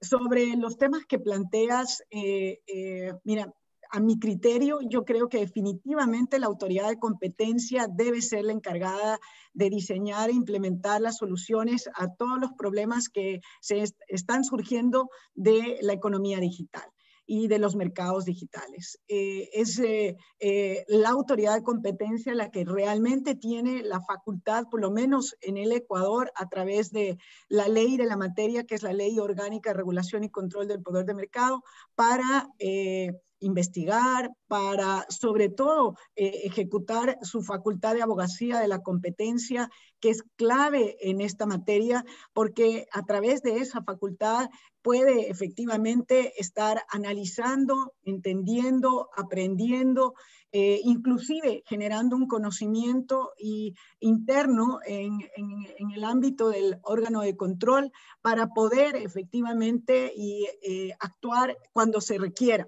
Eh, y esa facultad eh, de, la, de, la, institución eh, tiene que efectivamente utilizarla más a menudo y sobre todo en este caso en particular. Pero también mencionaron mis colegas que precedieron en el uso de la palabra y sobre todo creo que Miguel, un factor importantísimo, la cooperación entre agencias. Si hay alguna autoridad que puede ejercer precisamente los, o aprovecharse de los beneficios de esa cooperación es, en este caso, la autoridad de competencia de nuestras respectivas jurisdicciones. Y esa cooperación no es menor, es fundamental, porque a través de esa cooperación puede efectivamente acceder al conocimiento que otras agencias han desarrollado sobre esta misma materia u otras en general. Y esa cooperación la tienen las autoridades de competencia y eh, repito, no es menor y por tanto tremendamente importante y debe ser, repito, la autoridad de competencia la llamada a eh, ejercer precisamente eh, esa facultad. Adicionalmente, es la autoridad de competencia la que puede reaccionar con el dinamismo y la oportunidad que esta materia requiere. Desafortunadamente no lo ha hecho en el pasado, por lo menos la autoridad ecuatoriana, en casos tremendamente importantes en los que ha requerido esa intervención pero no quiere decir que no lo pueda hacer en el futuro. Entonces, eh, me parece que eh, el dinamismo que requiere este sector en particular, la autoridad de competencia es la llamada a eh, actuar para que efectivamente pueda intervenir oportunamente en estos mercados en el caso de que se lo requiera pero adicionalmente porque la facultad de regulación en el Ecuador no la tiene la autoridad de competencia. En el Ecuador la tiene una entidad denominada Junta de Regulación, que a diferencia de la Superintendencia de Control de Poder de Mercado pertenece a la función ejecutiva. Y esta Junta de Regulación que en el pasado sí ha eh, ejercido alguna regulación eh, ex ante, como es en el caso básicamente de mercados de autoservicios y venta de electrodomésticos, eh, podría efectivamente, inclusive a iniciativa y ojalá iniciativa de la autoridad de competencia, dictar una regulación ex ante para que efectivamente se dé esa solución que los autores han mencionado como una solución híbrida de la cual yo particularmente no soy muy eh, afín.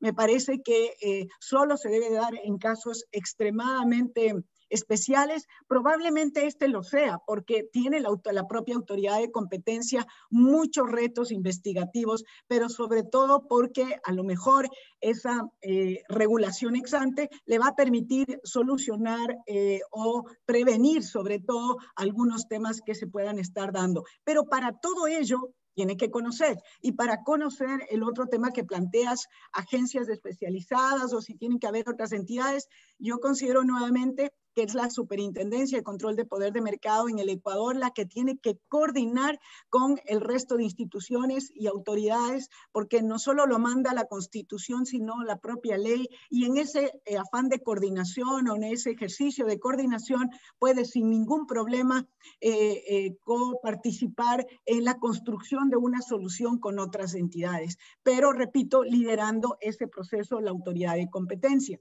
Y en efecto, el generar agencias especializadas o equipos especializados va a requerir de una serie de, situaciones que desafortunadamente son eh, em, limitantes en, nuestros países, como son los presupuestos, la falta de disponibilidad de, personal, pero es alguna barrera que tiene que superarla la autoridad porque tiene definitivamente que encontrar la forma de conocer estos mercados para poder intervenir. Creo que usé los minutos con los que contaba, eh, eh, así que estoy más bien absolutamente abierta para poder eh, seguir desarrollando estos temas que me parecen tremendamente oportunos e interesantes. Y muchas gracias nuevamente, Felipe, y a todos los demás. Muchas gracias, María Rosa. y ahora entonces le paso el piso a Carlos. Está sin micrófono, Carlos. Listo. ¿Escuchan? Sí, ahí sí. Ok, muchas gracias. Ante todo, agradecer al SECO y a, Felipe por esta iniciativa. Felipe, que ha estado en ambos lados o en los tres lados de la orilla, sabe que las autoridades de competencias regionales coordinan mucho más de lo que coordinan los sectores académicos regionales o el sector privado regional. Abrir estos espacios de diálogo creo que es súper este, importante intercambiar experiencias y, ver que las preocupaciones que tenemos en, los diferentes países son, son similares, ¿no? Y acá hay mucho que podemos aprender los unos de los otros. En cuanto a, la pregunta que, nos plantea Felipe para este bloque, eh, creo que él ya conoce cuál es mi posición. Ah, yo, yo concuerdo en, una idea fundamental está dicho en este paper y en general creo que es así para todas las ramas del derecho en, en, general. ¿no? Nosotros tenemos que diseñar soluciones partiendo de nuestra realidad, de nuestra realidad política, económica, cultural. en Latinoamérica es distinta a la Unión Europea, a Suiza o Estados Unidos. ¿no? Este, tenemos que partir con un pie en la tierra de nuestra propia realidad. Y si partimos de nuestra propia realidad, eh, el modelo híbrido que estamos discutiendo a mí me preocupa. Eh, me genera este, eh, preocupación, me, genera una sensación de, que tenemos que actuar con prudencia y que tiene que haber mucha reflexión. Partiendo de la premisa que en general en nuestros países, grados más, grados menos, el desarrollo institucional y la capacidad de gestión estatal es algo más precaria de lo que vamos a observar en países europeos, en Estados Unidos, en Suiza, en Canadá este, esa, precariedad, insisto, grados más, grados menos entre nuestros diferentes países, eh, es lo que me siembra dudas, ¿no?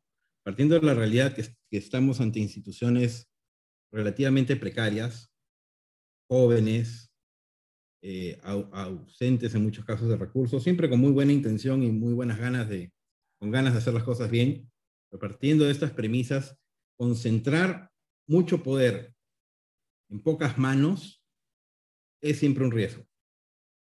Y, eso es lo que a mí, de primera impresión, me choca de la idea de juntar la facultad de, regular con la facultad de supervisar competencia en cualquier mercado. Este, yo, ahora, yo, yo, yo coincido con los autores que el derecho, la competencia y la regulación ex ante no son cosas contrapuestas, no son rivales, uno tiene que primar sobre el otro y uno va a matar al otro y solo debemos imponer un modelo. Yo creo que las dos cosas coexisten y deben coexistir. Eh, las reglas de competencia existen para todos los sectores económicos por igual, con la misma este, vehemencia o el mismo rigor. Las, la regulación ex ante existe a lo largo de la economía de diferentes sectores económicos, pero con distinta intensidad, distintos objetivos, distinto, distinta este, graduación, si se quiere, dependiendo de qué tan sensibles o no son ¿no? determinados mercados, partiendo de sus estructuras y una serie de otros, este, eh, otras razones, digamos, no económicas. ¿no? Es, es claro que el, los mercados este, digitales hoy día son, del tipo que este, eh, tienden a generar preocupación en las autoridades públicas. ¿no? Esto es, eh, en el comentario menciona esto es algo así como el, el comentario de, o la, la, posición de, Luis Brandis sobre este, la, maldición de, de, la grandeza, ¿no? del, del tamaño. Son, son, son actores económicos que concentran mucho poder económico y como tal van a generar mucho recelo. Y como tal van a ser regulados. Yo soy consciente de que van a ser regulados. Ahora, si esa regulación debe hacerla la, la autoridad de competencia, estoy convencido que no. ¿Sí? Este, creo más bien que tratándose de herramientas complementarias, eh, lo que debemos es mantenerlas separadas. Por lo mismo que son herramientas complementarias, deben mantenerse separadas, porque si no, se confunden y más que complementaria se convierte en una sola herramienta y no es el propósito. Este, acá de repente un modelo un poco más Coase, Calabresi, Breyer, ¿no? El Estado debe priorizar y concentrar sus recursos y capacidades ahí donde tiene eh, la capacidad de generar mayor impacto a un menor costo. ¿no? Es así como creo que, siempre debemos partir de, en el diseño de, de, reglas regulatorias y enfocar siempre el, el, problema regulatorio, priorizar y concentrar recursos donde podemos tener mayor impacto a menor costo.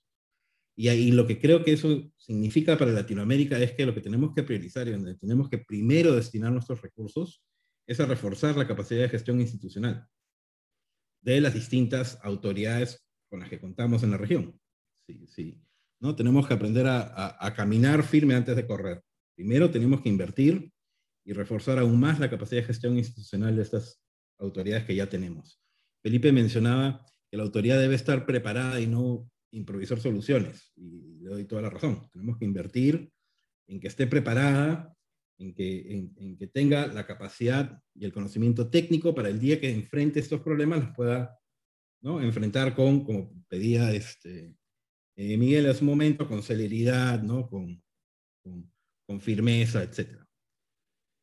Eh, problema, claro, en, la economía digital es que la economía digital es un tema socrático. Este, lo único que sé es que nada sé. En la economía digital sabemos que es un gran monstruo, pero nadie puede predecir lo que va a pasar. ¿no? Los tenemos un poquito más de canas, recordaremos aquellas épocas en las que nadie iba a ser más poderoso que Windows en sistemas operativos, Nadie iba a tener control de los browsers como Netscape eh, eh, en un momento y después como Explorer. Nadie iba a tener la fortaleza en el hardware móvil que tenía BlackBerry. ¿no? Este, y esas historias duraron menos de una década. Este es un mercado extremadamente dinámico, extremadamente disruptivo, donde este, si para algo tenemos que prepararnos es precisamente para entender estos procesos de cambio dinámico y saber cómo enfrentar los problemas sin restarle eh, ese dinamismo a estos mercados. A mí una cosa que siempre me ha preocupado la regulación ex ante es que la regulación ex ante tiende a perpetuar eh, poder económico. tú miras lo que, pasa con, la, con lo, que pasó con las telecomunicaciones hasta el año 94, lo que pasó con, la, con, con, el transporte aéreo transatlántico, la regulación ex ante perpetra el poder económico por una serie de, de, razones institucionales que no voy a discutir, pero hay que tener cuidado acá. Este, creo en la separación de, de las funciones porque, en resumen, los objetivos, los alcances, las limitaciones de una u otra herramienta son distintos y requieren manejarse por separado y trabajarse y reforzarse por separado. En mis comentarios explico un poco más esta idea, pero si, si lo vamos a sintetizar, más allá de los objetivos, limitaciones este, de una y otra herramienta, lo que nos tiene que dar en claro es que el derecho a la competencia no es regulación ex ante, ya, si no, no estaríamos teniendo esta discusión. El derecho a la competencia es law enforcement. Eso me lo dijo una vez un amigo del, del FTC y, y, me quedó marcado y creo que tiene toda la razón. El derecho a la competencia es law enforcement. Y de ahí que la separación entre la función policial o enforcement de la función legislativa o regulatoria es imprescindible. Esto es, es, es, es, es prácticamente la separación natural en el Estado de Derecho.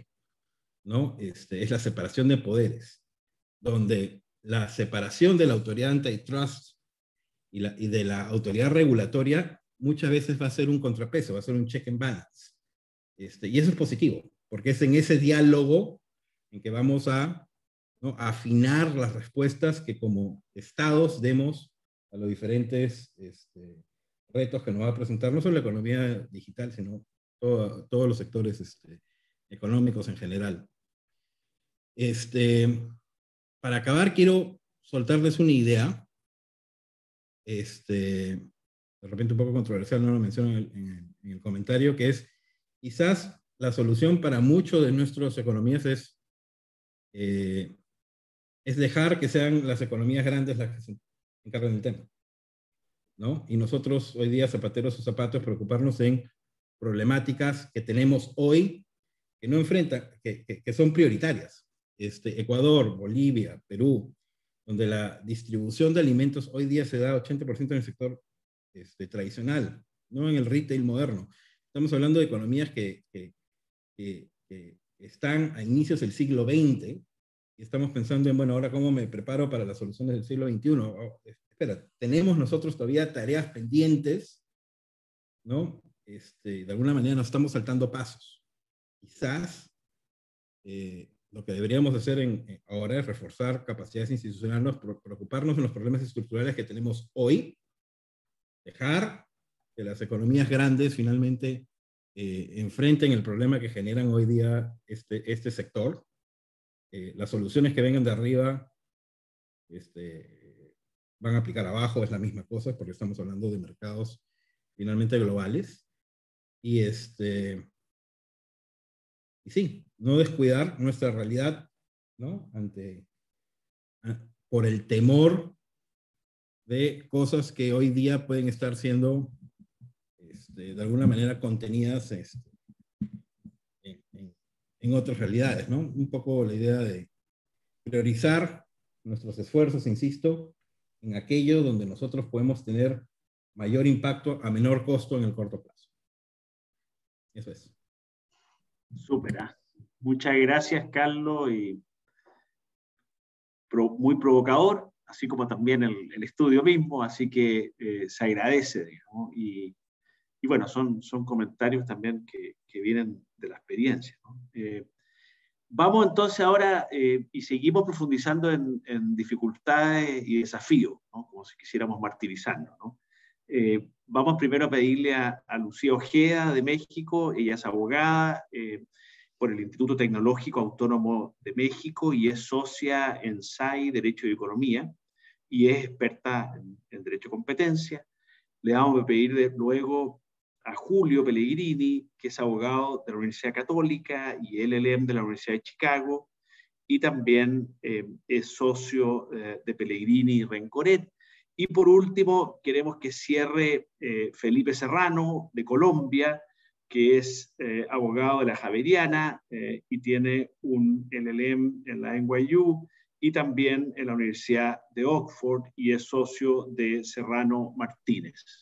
Adelante, Lucía. Bueno, pues primero que nada, mi gratitud al Centro de Competencia y en especial a ti, Felipe, por la oportunidad de participar en este diálogo y felicitarlos por esta iniciativa y por el análisis efectuado por Nader y Andrés, ¿no? Que aportan elementos valiosos pensando precisamente en la realidad de América Latina, sin ignorar la, la experiencia en otras jurisdicciones, ¿no? Este, eh, lo que sí, bueno, es adoptando, y estoy completamente de acuerdo, en adoptar una posición cautelosa de observadores, ¿no? Posición difícil en estos momentos en los que se ha construido una narrativa de que las diversas plataformas deben ser disciplinadas desde ya, ¿no? En México, dado que la intervención de las autoridades de competencia generalmente no tiene un resultado este, inmediato, ¿no? Este, vivimos también un momento en el que, en el que eh, pues existe una siempre, existe una gran tentación para legislar, para resolver los problemas, ¿no? Con el riesgo de provocar otros, y en este sentido, pues me parece muy interesante este, el, análisis que, hacen los autores. Ahora, bueno, respecto a las, eh, del tema planteado, pues realmente, este, eh, en realidad es, bueno, si en México, ¿no? Estaremos dispuestos a avanzar en implementar una solución híbrida como la que, como la que exponen los autores, pues bueno, a mí me gustaría nada más tomar que, este, pues en efecto, los autores inician afirmando que para avanzar en este tipo de soluciones, primero que hay que romper con el paradigma, ¿no? Que alimenta la discusión sobre la regulación ex ante y ex post. Y bueno, efectivamente, una de las primeras ideas que generalmente se parte es que las autoridades de competencia no son reguladores, sino SARES o árbitros del juego de la competencia y por ejemplo, pues eh, utilizando el mismo ejemplo que utilizó Miguel, yo también lo uso en mis clases, ¿no? Se, se, solía poner el ejemplo del fútbol, en donde la FIFA es quien pone las reglas, ¿no? Y las autoridades de competencia son los árbitros que, que, que, actúan durante el partido. Este, en México, con motivo de las reformas constitucionales en materia de competencia adoptadas, eh, adoptamos en, en el 2013, adoptamos un procedimiento que parte de una solución, yo diría, híbrida, que, está contenida en el artículo 94 de nuestra ley, que igual que el New Tool, ¿no? Se inspiró en la experiencia del Reino Unido. Y esto permite una intervención de la autoridad de competencia para corregir a través de una intervención regulatoria un mercado que no funciona adecuadamente. El procedimiento respectivo se sustancia bajo un análisis tradicional de competencia, ¿no? Pero sus órdenes o medidas correctivas, agentes económicos, pues pueden ser tan diversas como la, como la problemática se encuentre, ¿no? Y en esto, pues hay recomendaciones a agentes económicos, se pueden eh, emitir recomendaciones de autoridades públicas, este, determinar, eh, hacer eh, acceso a insumos esenciales. Entonces, digamos que, que las facultades de corregir el mercado son amplias. Este, es importante que, dado a la discusión que hubo en ese momento, justamente en el mismo sentido de lo que estamos hablando ahora, es importante notar que la ley establece un estándar alto para la imposición de medidas de la autoridad, quien tendrá que, en el procedimiento, verificar, ¿no? Que estas generarán incrementos en la eficiencia de los mercados. Entonces, digamos que el tema de eficiencia está ahí y las armas o las lógicas o el análisis tradicional de una autoridad de competencia está ahí. En su momento, como ya lo, lo, dije, esta facultad fue ampliamente cuestionada por el foro, este, justamente por, por, por el tema de que eh, una autoridad de competencia no debe ser un regulador. En retrospectiva, pues incluso con las limitaciones que se han enfrentado, pues me parece que, que, puede llegar a ser una, una, un procedimiento útil para, para, atender el tema de los mercados digitales, sin embargo, este, estos mecanismos enfrentan a un retos importantes. Uno, el primero, y ha sido en, la experiencia, pasar por el tamiz del Poder Judicial, ¿no? Cuando se trata de recomendaciones que implican a otras autoridades sectoriales. Por ejemplo, en México, este procedimiento se aplicó para el caso de los slots en el aeropuerto de la Ciudad de México y de alguna manera se emitieron recomendaciones a las autoridades sectoriales y en ese momento, pues, este, la, los tribunales establecieron que, que, son meras recomendaciones y que no existe obligación de observarlas. En el caso de plataformas digitales, si bien hay algunos, este, algunas que no tienen, digamos, una autoridad sectorial en México, hay otras que sí. Por ejemplo, si hablamos de las, de las plataformas de transporte o las bancarias, ¿no? De los fintechs, en donde pues, la, la coordinación entre autoridades es muy importante. Este, también tenemos una, un, un, tema y una dificultad adicional en México, que es que, pues tratándose de, temas eh, de competencia, tenemos una autoridad de competencia específica para los temas de telecomunicaciones en México, que es el IFT, y aquí también la controversia de qué le toca a quién este, ha suscitado muchos problemas de, competencia y pues obviamente esto no le, digamos, esta controversia no ayuda para, porque son espacios que los agentes económicos pues aprovechan, ¿no? Aprovechan pues para, para, pues para litigar, ¿no? Entonces este es un problema que tenemos. Claramente, eh, cualquier solución híbrida que tengamos también tiene un problema de respuesta, porque si bien se legisla ex ante, existe, o sea, digamos que si, si, llegas a ciertos este, eh, participaciones de mercado, de ciertos eh, criterios objetivos, este, pues se desata una regulación, ¿no? Y entonces finalmente procedimientos legales, y estos procedimientos legales pues requieren dar un, el principio de due process, ¿no? Deben ser oídos y escuchados. Entonces, de alguna manera también estas, estas soluciones híbridas tienen un problema eh, o un reto de los tiempos para hacer que estas soluciones, como decía el artículo 94 en México, pudieran eh, implementarse en un tema, ¿no? Temas que inciden en competencia de plataformas, otro caen bajo paraguas de otras autoridades en México. En México estas facultades están fragmentadas. Por ejemplo, en el caso de protección al consumidor y un tema muy relevante que es la privacidad. Por ello, la cooperación entre autoridades sectoriales o no sectoriales, digamos, de, que, que, tienen incidencia en las plataformas, es indispensable para que este mecanismo híbrido funcione, ¿no? Este, eh, por otro lado, eh, otra experiencia yo creo que el autor, y como ya lo dijo de alguna manera Andrés, o no me sé, me Nader, realmente eh, la, propuesta híbrida me suena más a lo que nosotros tenemos en México como una declaratoria de social o como en el caso de preponderancia, que fue el mecanismo que se implementó para disciplinar a las grandes empresas de telecomunicaciones.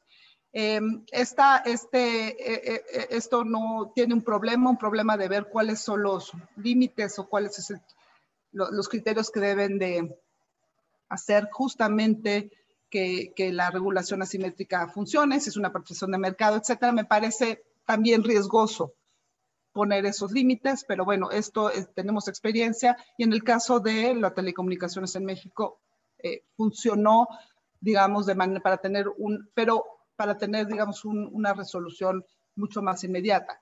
Sin embargo, estos son fenómenos que se habían observado en mucho tiempo y para las plataformas creo que todavía no tenemos esa experiencia. Clave e interesante el foco de eficiencia como objetivo, flexibilidad y los mecanismos de cooperación de los agentes económicos a través de mecanismos incentivos que tocan los autores. Me parece que eso es muy importante.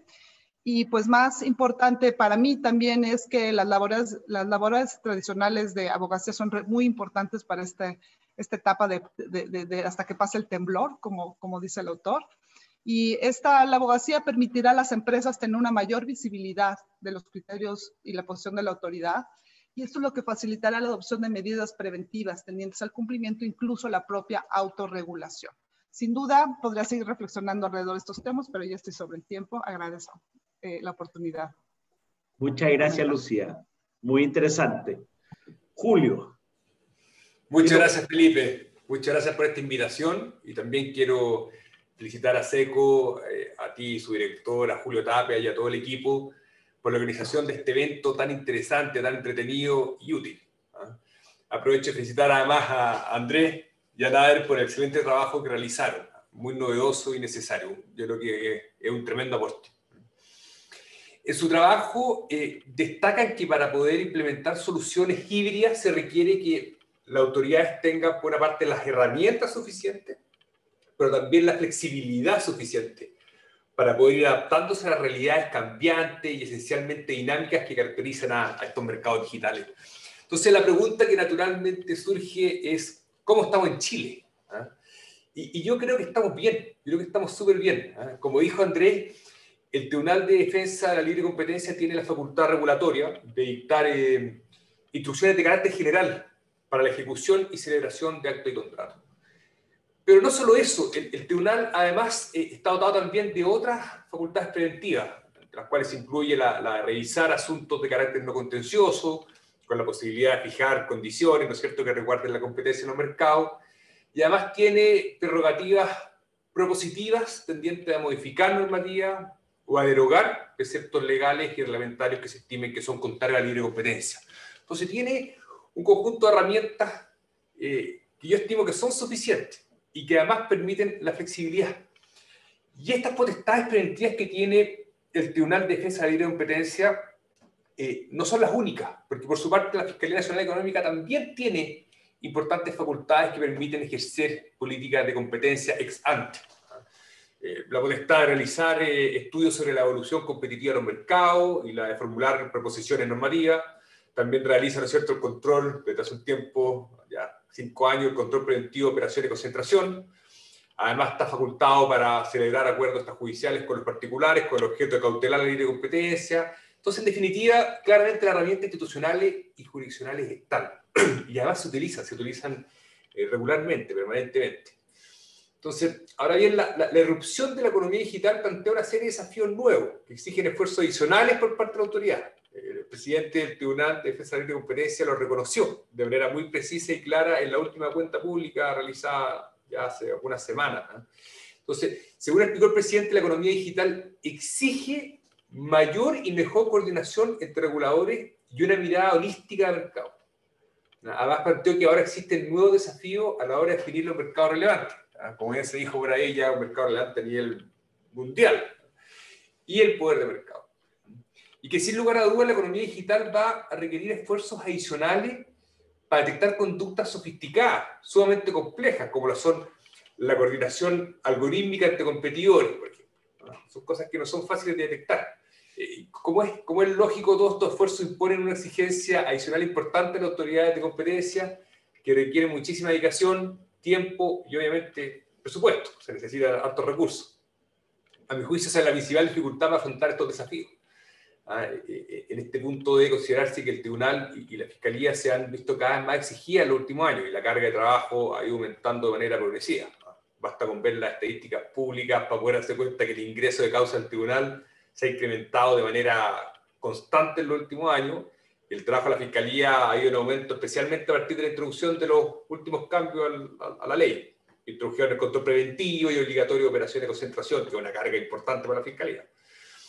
Por todo lo anterior, creo que se requiere un esfuerzo público que permita hacer frente a estos desafíos. Ah, ese esfuerzo puede ir, por ejemplo, de todas maneras, por otorgar mayor presupuesto a la autoridad de competencia que les permita armar equipos multidisciplinarios capaces de comprender, de analizar y detectar adecuadamente la forma en que se comporta la economía digital, como ya lo está haciendo la Fiscalía con la creación de la unidad de inteligencia dependiente de la unidad anticartel. otra medida concreta, que va en el mismo sentido, es la propuesta del presidente del tribunal de realizar modificaciones institucionales creando nuevas salas. Eh, en definitiva, resumiendo, creo que nuestras instituciones tienen las facultades legales hoy para afrontar y asumir la problemática que supone la economía digital sin embargo, lo anterior requiere un esfuerzo adicional. Hay instituciones que ya tienen una inmensa carga de trabajo, por lo mismo hay que analizar todas las alternativas de fomento institucionales que les permitan a la autoridad enfrentar este gran desafío. Ahora, eh, ¿qué experiencias tenemos en Chile? En sectores específicos como, como el sector de las telecomunicaciones o los medios de pago. Eh, ambos sectores tienen en común que están especialmente marcados por la presencia de soluciones digitales y innovaciones tecnológicas son, son, digámoslo así, rubros que están impactados constantemente por la innovación y por los desarrollos digitales. Circunstancia que puede tener repercusión en la competencia transitoria o quizás permanente también. Entonces, por lo mismo, han sido preocupación eh, de los particulares y la autoridad de competencia en Chile. Ah, quizás un ejemplo bastante ilustrativo de lo que estoy diciendo es lo que ha ocurrido con la industria de los medios de pago, ¿ah? que se encuentra actualmente en revisión por parte del tribunal y al respecto, personalmente, creo que una de las grandes virtudes de nuestro sistema de competencia es que le otorga a las autoridades amplias facultades para revisar, para estudiar, para analizar mercados, algunas de las cuales pueden ejercerse de oficio, lo que otorga aún más libertad, autonomía y flexibilidad, siguiendo un poco el trabajo que estamos comentando, para poder revisar posibles fallas de mercado y eventuales eh, defectos de la regulación. Eh, de hecho, sin ir más lejos, hace solo algunos meses el tribunal decidió de oficio iniciar un proceso de dictación de instrucciones de carácter general en el mercado de los medios de pago, especialmente marcado por la presencia de, soluciones digitales e innovaciones tecnológicas, precisamente por eso. Eh, y quizás lo último que gustaría comentar, para aprovechar el cuanto me queda un, un, poco segundo, eh, en Chile estamos dispuestos a avanzar en implementar soluciones híbridas como plantea el trabajo. Yo creo que sí, yo creo que sin duda hay mucho en lo que avanzar, pero nuestras autoridades ya han demostrado una creciente preocupación por, por ir preparándose para, para, para, este fenómeno que ya es una realidad global y que, y que ha llegado para quedarse. Eh, de hecho, sus recientes cuentas públicas, tanto el tribunal como la Fiscalía manifestaron un interés e inquietud particular por estos, por estos temas. ¿ah? Eh, tanto así que la Fiscalía decidió incluso modificar, después de casi 10 años, la guía para análisis de operaciones de concentración horizontales con especial foco en los mercados digitales. Y no solo eso, eh, como mencioné hace, hace un, minuto, eh, también el hecho de que recientemente la Fiscalía creó una unidad de inteligencia dependiente de la edición de carteles con especialistas en ciencia económica y en tecnología de la información. Son equipos multidisciplinarios eh, que, se necesitan y que serán sumamente útiles para prevenir, detectar y perseguir atentados a la competencia en estos mercados. Ah, por ejemplo, lo que comentaba, los ilícitos cometidos por medio de algoritmos. Eh, para terminar, naturalmente, eh, dicho evidente interés de la autoridad tiene que ir acompañado de un constante monitoreo de la realidad internacional, ahí no adaptando de una manera flexible, ir viendo, y, y, el uso permanente de las plataformas de coordinación y, de cooperación mutua que, que, con, otras autoridades en el extranjero, especialmente considerando que los, que los mercados digitales tienen un impacto y trascendencia marcadamente global. Así que con eso, termino. Muchas gracias, Julio. Muy interesante la, perspectiva chilena. Y ahora eh, vamos, tenemos ah, y nos quedan 15 eh, minutos. Eh, quiero aprovecharlo al máximo. y quizás lo que lo que debiera hacer primero es, ofrecerle a André y Nader si tienen eh, algún comentario o alguna reacción eh, en relación a, la, los, a, los, a, los, comentarios que acaban de hacer eh, los, los, abogados y abogadas de estas siete jurisdicciones específicas en relación al, al estudio que ustedes elaboraron. Sí, muy brevemente, primero, bueno, nuevamente agradecer a todos los, los comentaristas realmente muy, muy, muy, Te falté yo. Eh, perdón, no, perdón, Felipe, no, perdón, en el apuro, no, en el apuro. Felipe Serrano de, de, Colombia, eh, eh, y muchas gracias por advertírmelo, digamos. así que, por favor, haznos tu, tu, exposición y, y, te pido disculpas. No, no nos faltaba, no te preocupes.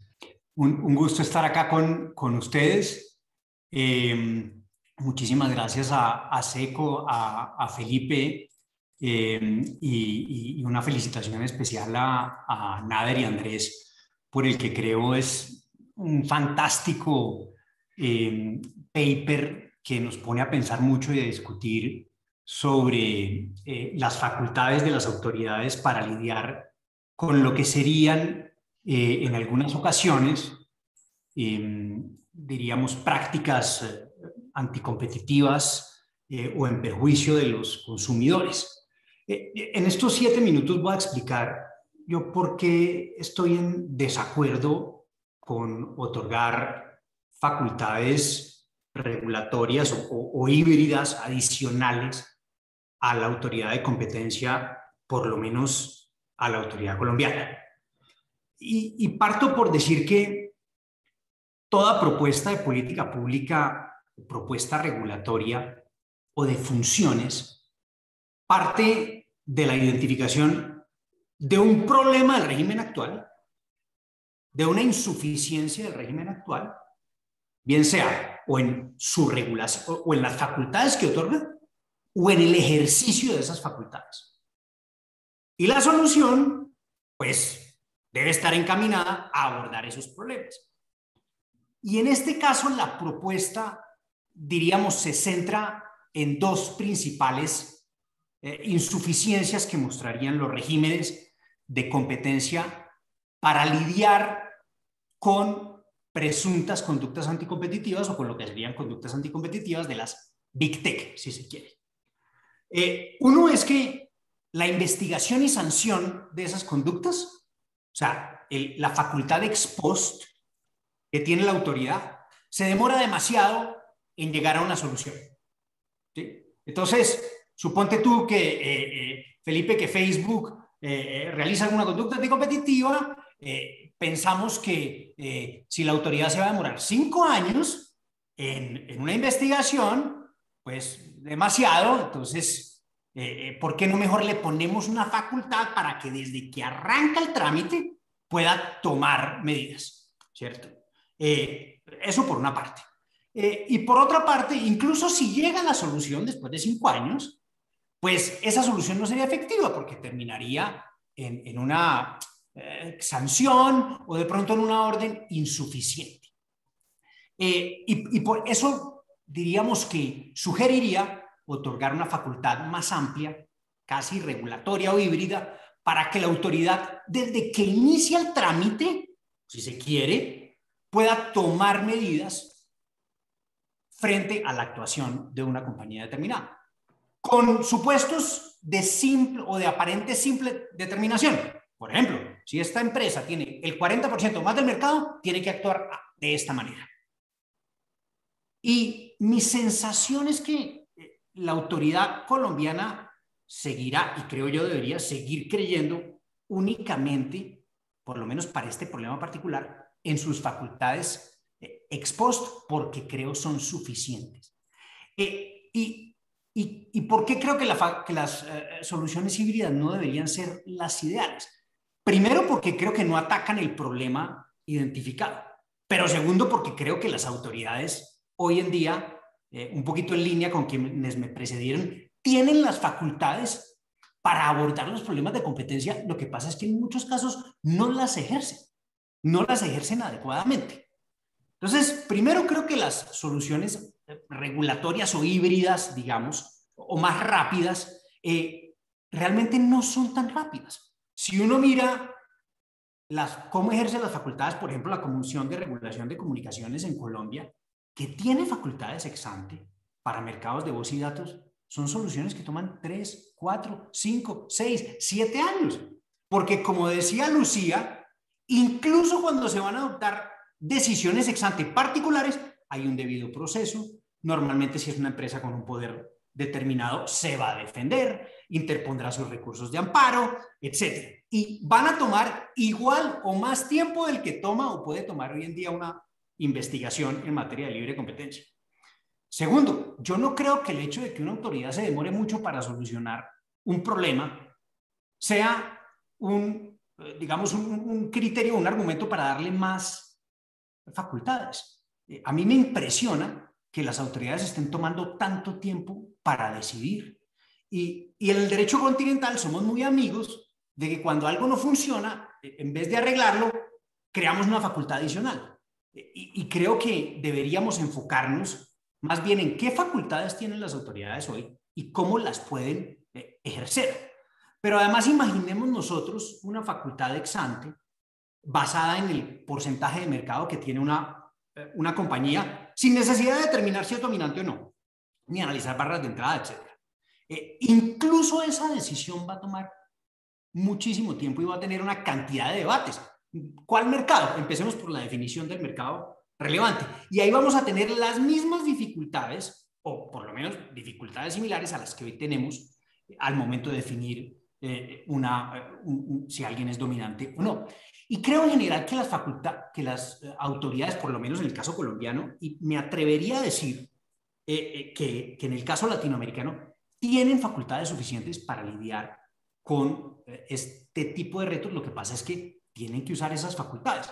Por ejemplo, la autoridad en Colombia puede decretar medidas cautelares cuando y, y dar órdenes específicas cuando considera que hay una práctica anticompetitiva en cualquier sector, incluido mercados digitales. En segundo lugar, eh, eh, puede, al abrir investigaciones, como nos eh, señalaba Marcelo en el caso de Brasil, llegar a acuerdos que implican la modificación de conductas que pueden ser incluso mucho más efectivas que una, una orden regulatoria, llegar a acuerdos con el investigado en el marco de una investigación para que cooperativamente cese determinada conducta. Entonces, creo que antes que pensar en, en facultades eh, adicionales, deberíamos pensar en cómo utilizamos adecuadamente las que tenemos. Y, finalizo con, un, con algo que dijo Carlos Patrón que me pareció muy interesante. Yo yo siento que las autoridades de competencia en, en, Latinoamérica todavía tenemos tantos retos en mercados análogos, por decirlo de alguna manera, que estamos en debates de azúcar, cemento, eh, etcétera, eh, que no hemos, yo creo que ni siquiera vamos en el 50% de ese reto, eh, y me parece que otorgar facultades adicionales para pensar en mercados digitales puede ser prematuro. Yo me centraría en utilizar las facultades que tenemos ahora y en arreglar los problemas de términos, de tiempo, de, de, órdenes con lo que tenemos, en vez de pedir más facultades para problemas o, cuestiones que se pueden solucionar con las herramientas actuales. Muchísimas gracias, con eso, con eso termino. Eh, y Felipe, eh, de nuevo, mil gracias por la invitación. Muchas gracias, Felipe. Muy, muy claro y convincente, como siempre. Eh, y ahora entonces le, paso la palabra a, a Nader y a Andrés a ver qué, en, pocos minutos, qué reacciones quieren eh, de qué manera quieren reaccionar frente a los, comentarios que se hicieron. Sí, ahora sí, muchas gracias Felipe. Bueno, nuevamente y ahora sí agradecer por los comentarios eh, tan generosos, claros y, por cierto útiles. A ver, eh, en primer lugar, eh, indicar que, nada, eh, esta, esta, propuesta, lo que estamos discutiendo es una, primera aproximación para generar este debate y en ese sentido misión cumplida. Tenemos, tenemos debate, tenemos distintas posiciones y eso nos pone súper contentos, ¿no? Eh, lo segundo, eh, intentando ser breve, aquí hay un tema evidente de eh, capacidades de las instituciones en la región que se repiten en, las distintas intervenciones y en ese sentido acá nosotros como decimos en Chile no pretendemos poner la carreta delante de los bueyes y hay prioridades y lo primero evidentemente es avanzar, avanzar en las mejoras que requieren las instituciones y que por cierto, tal como lo ilustró Julio, eh, en Chile eh, eh, favorablemente hemos, avanzado mucho, diríamos, en los últimos al menos 15 años en, la institucionalidad de defensa de la libre competencia.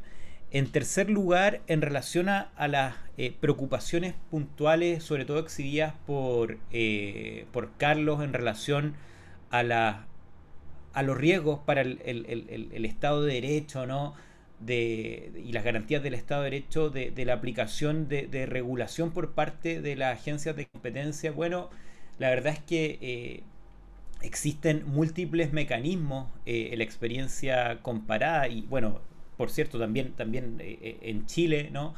Que, permiten avanzar en esa línea, la, línea que nosotros proponemos sin, sin digamos, asumir eh, riesgos relevantes en relación a, la vulneración de, de, esos principios, de esas garantías. ¿no? Eh, la separación de poderes eh, está, está resguardada. Nadie podría decir lo contrario, por ejemplo, a partir del ejercicio del Tribunal de Defensa de Libre Competencia de su facultad de dictar instrucciones de carácter general. Y por último, y, haciéndonos cargo, o haciéndome cargo de, de quizás el tema más filosófico de fondo que tiene que ver con con la preocupación por, por eh, votar este, este paradigma que establece una dicotomía entre regulación y competencia. Eh, mi impresión es que, es que acá también tenemos que ser eh, flexibles. El tiempo, el, escenario geopolítico nos exige eso, ¿no? cuando uno revisa los planteamientos que se han dado en el contexto de, de la Comisión Europea, eh, los programas presidenciales de Biden y los programas presidenciales también de, que tenemos en, también en esta región, nos damos cuenta de que quienes creemos eh, eh, que el mercado es el más eficiente asignador de recursos, tenemos que ser flexibles. Y tenemos que ser flexibles porque de lo contrario el riesgo es que la realidad nos pase por el lado y finalmente terminemos siendo más propositores de, temas filosóficos que eh, de, propuestas de política pública. Eh, eso. Muchas gracias nuevamente. Andy. Sí, de nuevo, sumarme a los agradecimientos. Creo que fue muy entretenido escuchar estas posiciones porque porque se plantea una dicotomía que creo que es bien interesante. Acá estamos hablando de Big Tech, estamos hablando de temas comunes a, todas las jurisdicciones que participaron acá y probablemente eh, de, de, cualquier país, pero a la vez cada uno, y, no me excluyo de, de, esa conclusión, lo hacemos desde nuestra en, en nuestras instituciones. Y eso, y eso genera, genera este, este, debate que creo que es tan interesante, porque al final muestra cómo distintas herramientas regulatorias pueden ser más eficaces en ciertas jurisdicciones que, que en otras. Por eso yo creo que acá, más que hacer una, una réplica, que no, que no quisiera hacerle, porque creo que al final todas las opiniones pueden terminar contribuyendo, es importante tratar de, de, sacar cuáles son los temas que probablemente van a requerir más análisis y que van de la mano con este. Y, y a mí me surgen dos o tres al menos. El primero es el diseño institucional. Eh, yo creo que puede haber algo de, probablemente quienes expusimos desde, desde, Chile hoy día, mostramos una mayor eh, confianza en las autoridades de competencia. Puede que eso esté relacionado con el diseño institucional chileno, de tener finalmente un tribunal independiente que forma parte al final de una lógica, de una lógica no de revisión judicial, sino de una lógica de procedimiento adversarial desde la primera instancia. Eh, entonces, si bien es una rareza institucional nuestro, nuestro tribunal que ejerce facultades jurisdiccionales y al mismo tiempo facultades regulatorias, puede haberse quizás transformado en una ventaja.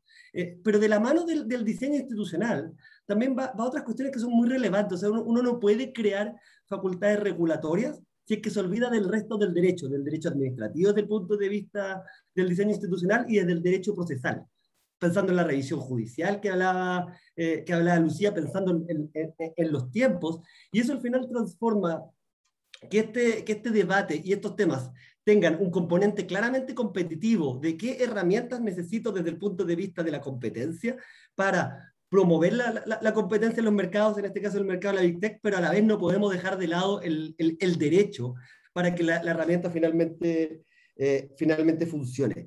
Y, y, en este contexto eh, es que creo que lógicas, lógicas pensando, para cerrar la idea, de híbridas como las que estamos pensando, no pueden en ningún caso imponerse necesariamente por sobre otras, sino que se trata finalmente de ponerla en el set de herramientas que tenga el regulador, el legislador, la autoridad de competencia al momento de ejercer caso a caso, porque evidentemente van a haber casos donde la herramienta probablemente sea más bien el, el, juicio ex post, porque no hay un tema más, quizás más estructural, sino más bien conductual de querer sancionar, y otros que probablemente requieran quizás herramientas, eh, eh, eh, herramientas más regulatorias que como las que proponemos. Entonces, básicamente creo que todo esto sirvió para dejar el debate sobre nuevas formas de, de, poder intervenir, porque con esto sí que cierro, al final lo que, lo que está detrás de todo es que regulación ex ante y, y, y ejercicio ex post no son sino partes de la misma moneda que es la lucha contra del poder de mercado, que tanto daño le puede hacer a, la competencia y a la democracia.